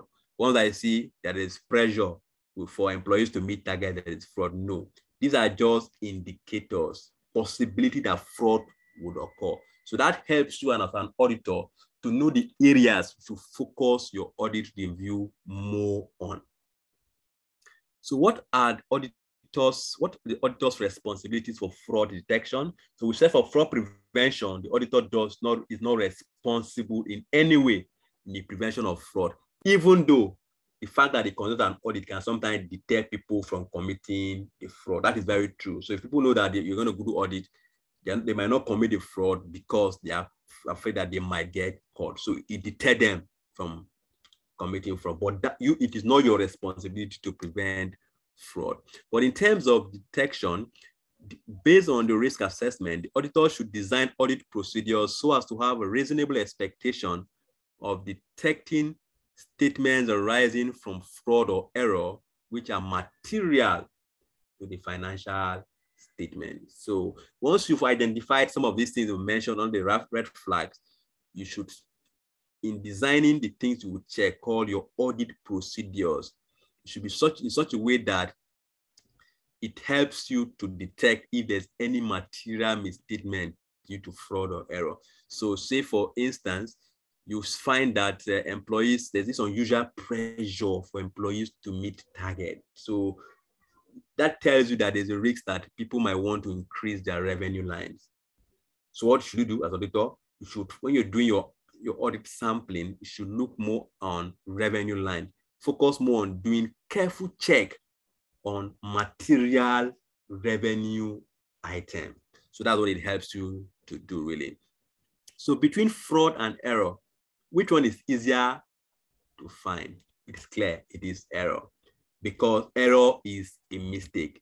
The auditor, just, the, sorry, the, the employee involved undertakes uh, does it without knowing, even knowing that uh, that's what they are meant, uh, that, that's what they are doing, funny enough. But in fraud, it is an intentional action. So those that perpetrate the fraud, we want to take whatever action is required to hide that, that fraud, such as collusion between them, between the different employees, or even falsifying record to tally with uh, the fraudulent uh, action. So what happens if the auditor, if a fraud is detected after an audit work? Does it mean that the auditor did not perform his work correctly or the, the auditor was negligent? No. The discovery of material misstatement on the financial statement after the auditor's report does not in itself indicate that the auditors have failed to adhere to the basic principles and essential procedures of an audit. Let's illustrate this. So Auditors do two things. One, they conduct sample. Two, fraud. Those that commit fraud take careful care to hide their fraudulent act, including collusion. So let's take an example now. So as an auditor, let's assume that you you made this the, the, the employee, the company is under pressure, money is under pressure to deliver. And so the record in the books that is sold an item for 5 billion, when in reality, it was sold for 1 billion. They have the records, they sign the contract, yeah, and then they, co they collude with the person that they are selling the item to and say, don't worry, this item we're selling it for you for, it's meant to be 1 billion, but if you agree to sign that we, we sold it to you for 5 billion, we'll give you some discount behind the scene or something or something and we'll write, we'll write it off. Now the auditor comes in he checks, he says that uh, this revenue is reported as 5 billion. Looks at the sales contract, 5 billion is there. And the person that bought it signed 5 billion. The company has confirmed, signed that they sold it for 5 billion. Possibly they took an extra step to write a letter to the person that bought it and say, please confirm, did you buy this thing for 5 billion? That one, because they've colluded, the management, the companies have spoken to him, they've agreed, and he knows he's, he's, he's, he's going to get something out of it he confirmed and say, yes, I actually sold this thing. I said I actually bought this item for five billion.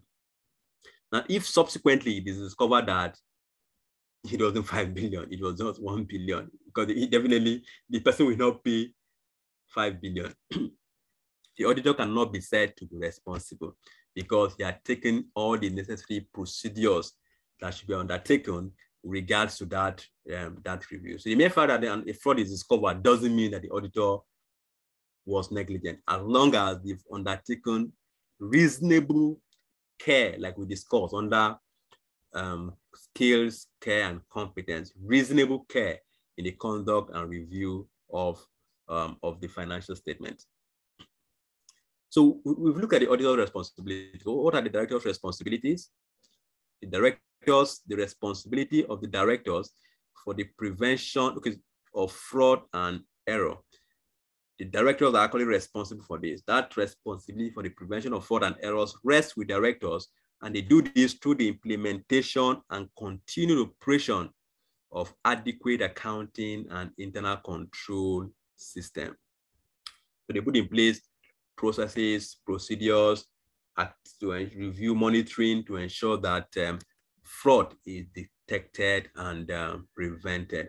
But the truth is, regardless of the kind of activity processes you put in place, that doesn't guarantee that fraud may never happen. That is because there's a risk of collusion. There's a risk that people will make error in carrying out their work, error in, in judgment in carrying out their work. So because of this, you can't give any guarantee that your system of control will completely eliminate fraud. So when, a, when an auditor um, suspects that fraud or error may exist, what should the auditor do? One, the auditor should consider the impact on the figures reported in the financial statement. Why? Because the auditors are only concerned about, primarily concerned about materiality, things that have a material impact on the financial statement. And what is materiality? Materiality basically means, immaterial amount basically means that if that figure is not correct, then it will impact on the decision of those that rely on that financial statement to make decision. So if they discover that it's material, then they should perform necessary additional procedures and even modify what they had planned to do before, just to ensure that they can validate the impact of that fraud.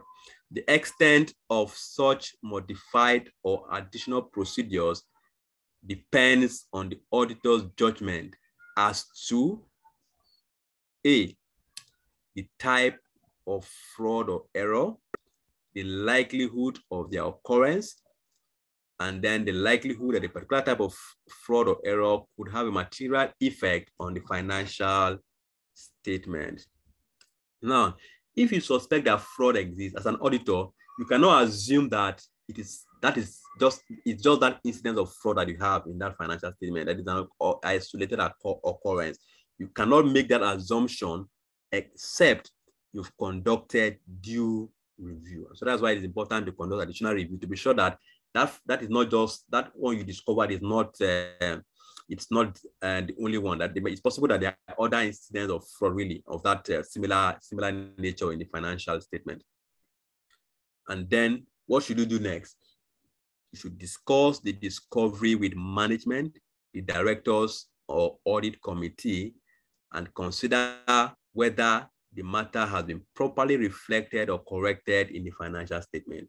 So if, for instance, you, you in the course of your review discovered that um, the company was meant to report expense of 8 million, but in the course of the, in the course of the review, they reported, in, sorry, the financial statement, they reported 5 million, and you discover that, ah, the difference is due to fraud, fraudulent financial reporting.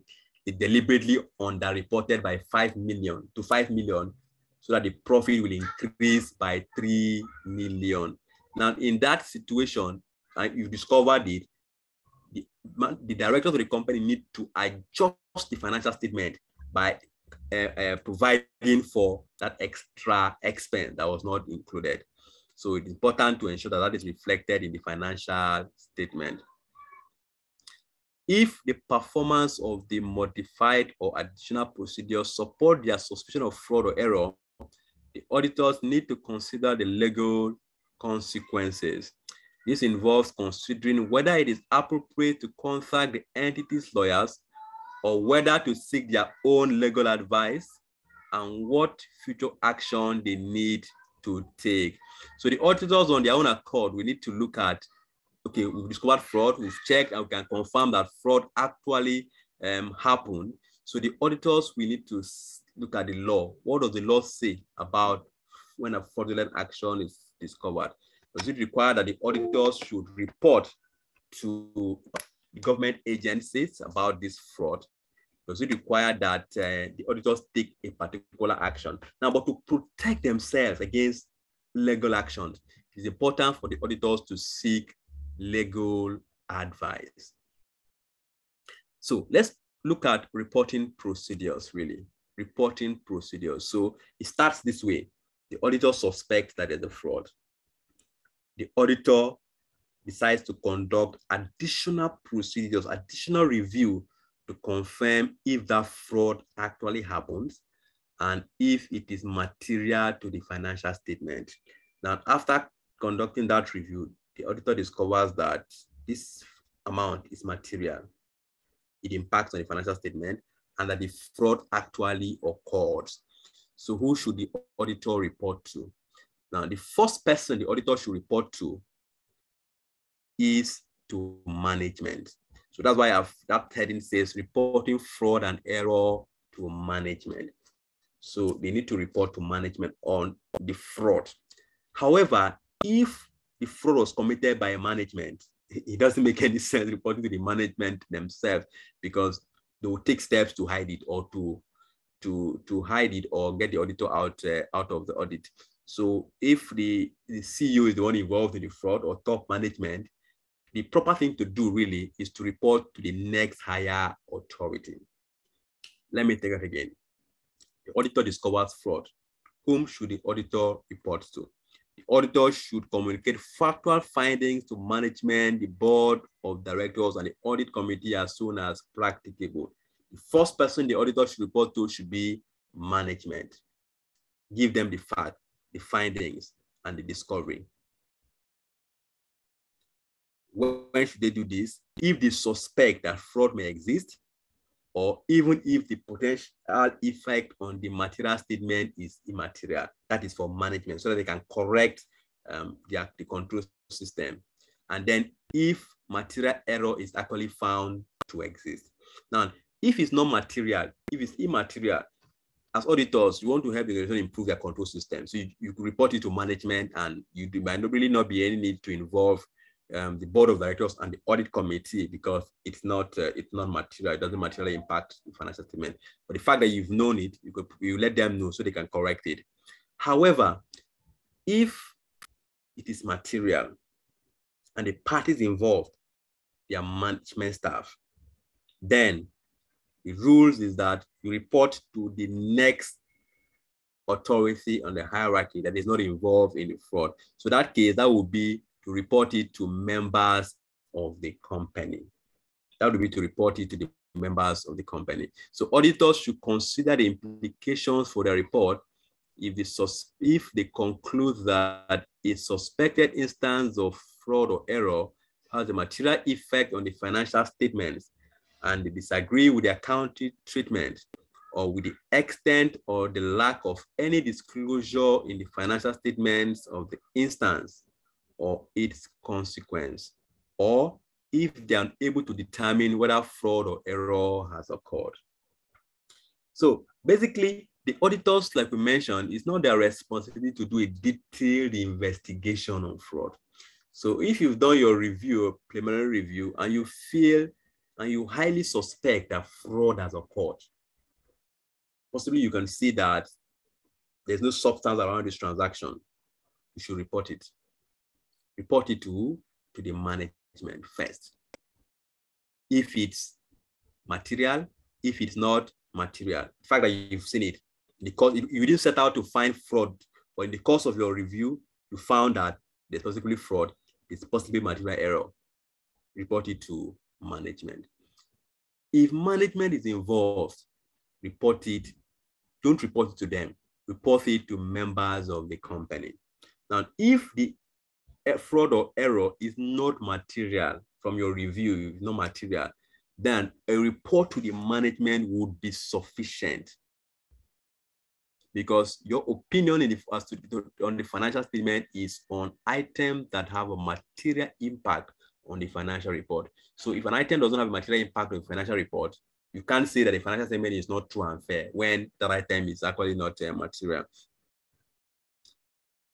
So auditors should not refrain from qualifying their opinion on the ground that the position has been corrected since the balance sheet date or because of the possible consequence of qualification. So for instance, if you discovered um, a fraud for a previous year, this year, that previous year's report has already been issued. So it's important that that report be made so that people know that the report that was issued prior to now had um, fraudulent financial, it was figures in, in, in it. And also, it's also important to note that auditors should not consider the consequence of issuing a modified or a qualified opinion. So what that means is first, when you go to audit, some companies will tell you, if you qualify our financial report, uh, people will no longer do business with us and that will impact on our profit going forward. Such should not impact on the auditor's opinion. Work. Your work is to express opinion, your views as to the true and fairness of the financial statement. So do your work and say it uh, as it is. A third group of people that the auditors could actually report to uh, it's to third parties. There might be case when the auditor might need to report to third parties, to external parties, but there are conditions for that. One is if they're if they're under statutory duty to do so. So if the law requires that they report to some other external bodies, for example, the company, company, eh, the, the company registry, reg, uh, company affairs commission or something, if the law states that, then they have to make that report. Second condition under which an entity can report to external party is where the entity is unable to provide evidence that the matter has been reported. So if the entity is required to report, the company itself is required to report, and they've not done that report. As an auditor, you are required to make such a report. In extreme cases, really, the auditors should report a matter directly to a proper authority in the public interest and without discussing the matter with the entity if they conclude that the suspected instance of fraud or in particular cases error should be so reported and it has caused loss, loss of confidence in the integrity of the directors. So those are three conditions, situations where the auditors can report fraudulent actions to third parties. So auditors report to take note of auditors report to management. Management is the first point of call when auditors suspect fraud. Next point of call is members of the company, the shareholders, the directors, the, the non-executive directors and members of the company. The third point of call would often be to external parties.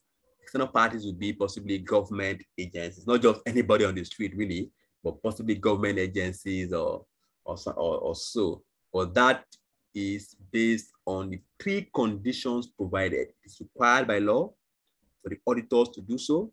It is required by law for the company to, to do so themselves, but they have not done it.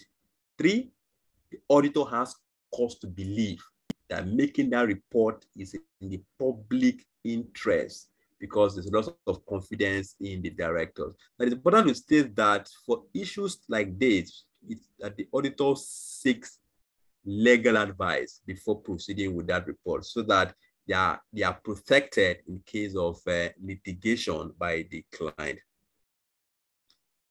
So um, we've spoken about confidentiality, disclosure requirement, and code of conduct of confidentiality, an exception to the confidentiality rule. So it's important to state that when that confidential, confidentiality rule is breached, the company, the, the audit firm is protected in some cases. In the case of breach of confidentiality, if it's made in public interest, it is made to an appropriate body or person. Public interest, appropriate body um, or person that is meant to receive that report. That's why it's important to seek legal advice. The auditors should seek legal advice. And there is no malice motivating the, the disclosure. So it doesn't as if the audit, audit firm is trying to get back at the company for, for some uh, disagreement before, before then. In the case of defamation, it's important that the disclosure is made in their capacities as auditors of the entity concerned and that there is also no malice motivating the disclosure. When can an auditor withdraw from an audit engagement? One, the auditor might withdraw from an audit engagement in certain situations. For example, if they consider that you've employed us as an auditor, but you've not given us the information we require to conduct our work. So why are we uh, why are we auditors? And secondly, if they see no opportunity for reporting such information to the shareholders, why they act as uh, auditors. So when should an auditor consider withdrawing from an engagement? One, if they feel that the firm, the company has not given them the record, the document they request to do their work. If you've not given you the record to do your work, on what basis are you conducting an audit? So the auditor may consider withdrawing. Secondly, if as an audit firm, you feel that you have certain you need to bring to the attention of the owner, don't forget that the owners of the business have appointed the management to take care of their business. So as auditors, you only get access to the owners if you are invited in a meeting that is put together and invited through the management team or something. So if you are struggling to get access to the owner of the business and you feel that the only way you could get access to them is if you send in your resignation letter, because in that resignation letter, you have to state, include your statement of circumstance. And so in that statement of circumstance, it gives an opportunity to say, this is the reason why we're resigning. This is, we need to get into, in touch with the owners to discuss certain matters. And that letter will go to the registry of companies who will ensure that that is um, done. So if you feel that you need to speak to the owners and you're not getting traction in doing that, withdrawing from the engagement gives you the opportunity to put that in writing and the law will support you in getting access to, to the owner. However, this should be your last resort. So you should have tried all other options, all other alternatives to get things done. And when it doesn't work, then before you now proceed uh, with this. So that what means is if, for instance, on your first call, you're struggling to get documents, why not speak to other management team, other members of the company, other directors of the company that you know or have access to, and to see if you can get uh, the document, the required document. It is only when you've tried all these available options and you still don't get traction that you can then decide to resign. So withdraw from an engagement should be the last resort by an audit um, audit firm. So uh, we'll speak to auditors' re responsibility to consider non-compliance with laws and regulation. It's actually similar. The provisions here are actually similar to the, the provisions on fraud, error, and uh, and and fraud. So we'd, we'd, we'd look at this next. But before we proceed, please let's quickly review key questions from this session. Um, we'll look at some of the key set questions. So um, have a pen and paper, you could attempt these questions and then we'll display the answer at the end. So first question is, which of the following letters confirms the acceptance and understanding of the audit assignments? So you have a comfort letter, letter of consent, engagement letter, management letter, letter of representation. Second question, which of the following should be included in an audit engagement letter? So this speaks to the content of an audit engagement letter. The third one, third question, multiple choice. Apart from the statutory qualifications, which of the following qualities and traits should an auditor not possess? So that should be the part we discussed about integrity, objectivity, and the likes. So which of these traits should an auditor not possess? Fourth one, an auditor may disclose clients' confidential information in the following for the following reasons, except. So we discuss this conditions under which client might disclose confidential information. Fifth one, statements which show the basic procedure contained in the standard is to be sorry, statements which show how the basic procedures contained in the standard is to be applied is described as what? Short answer questions. When should an engagement letter be sent to a prospective client? So think of it. When is it? When should that happen? Before the engagement? For accepting the engagement or when? So. We've discussed that. Who may appoint the first auditors of a company? To ensure, question eight, to ensure that the objectivity of the auditor is not threatened, the remuneration paid by one client or group of connected clients should not exceed dash of practice income for listed and other public interest companies. So that percentage should be for listed and other public companies. So in the course of our, our, our session, we spoke of 15%, 10%. So which of them is for public listed and other public interest companies? So that's the part you need to, that's what the question is asking for. Number nine, a new letter of engagement is necessitated by a change in the official address of the auditor. True or false? A change in auditor's address necessitates that a new engagement letter is issued. Finally, the term which connotes an unintentional mistake in financial statement is known as unintentional mistake. What is that known as? Okay, so the answers.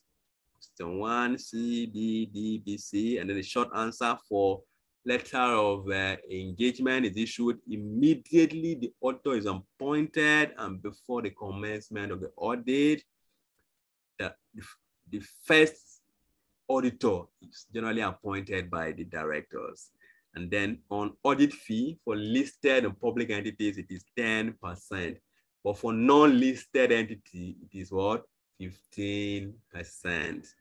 And then we have um, change of address, not the reason for changing, uh, updating the letter of engagement.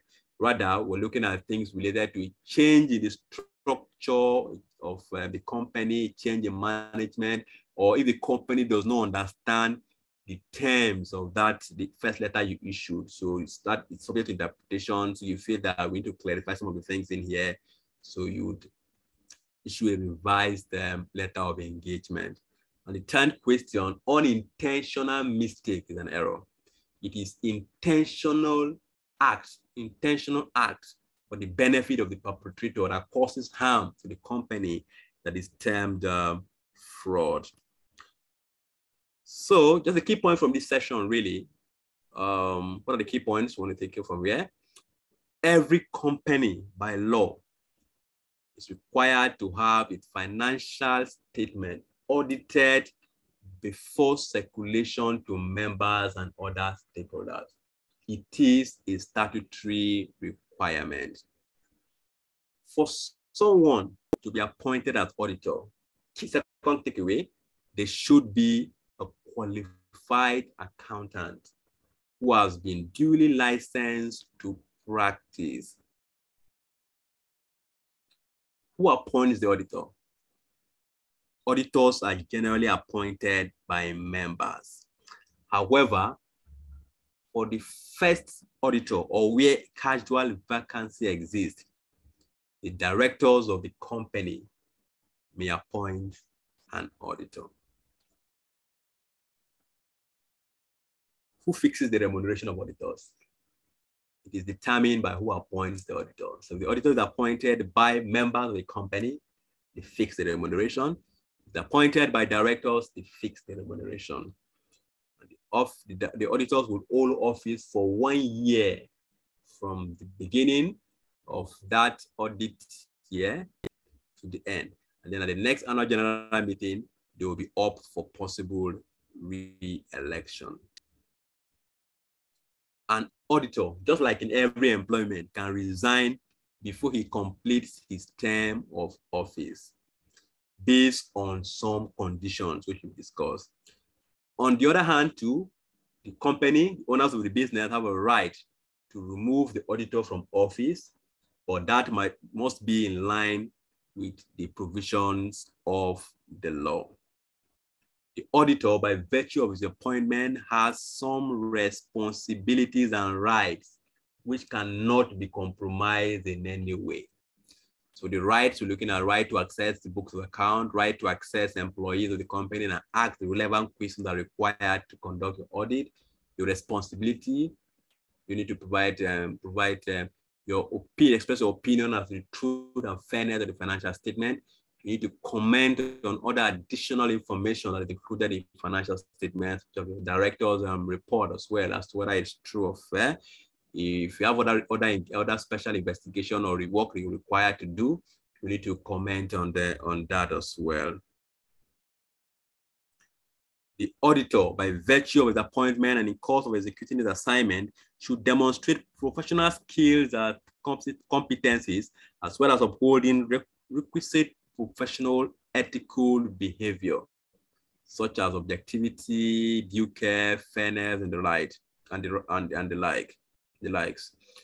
Though not responsible for the prevention of fraud and errors, the auditor in course of work may be held liable under contract under the law of tort and, on, and other under criminal law. So even though the auditor is not responsible for the prevention and detection of fraud and error, if in the conduct of their work, it's expected that they are meant to detect material misstatement in the financial statements and they did not detect that, then they can be liable under law of tort and criminal law. We also know that the auditor has some responsibility towards the client's compliance with laws and error. So um, that will be the end of today's um, session.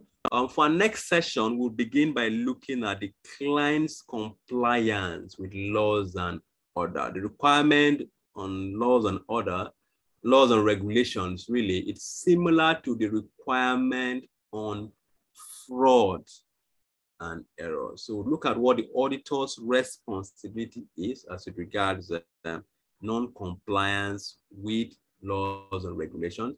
And then we'll move on to section B of the syllabus. Thank you for today's session.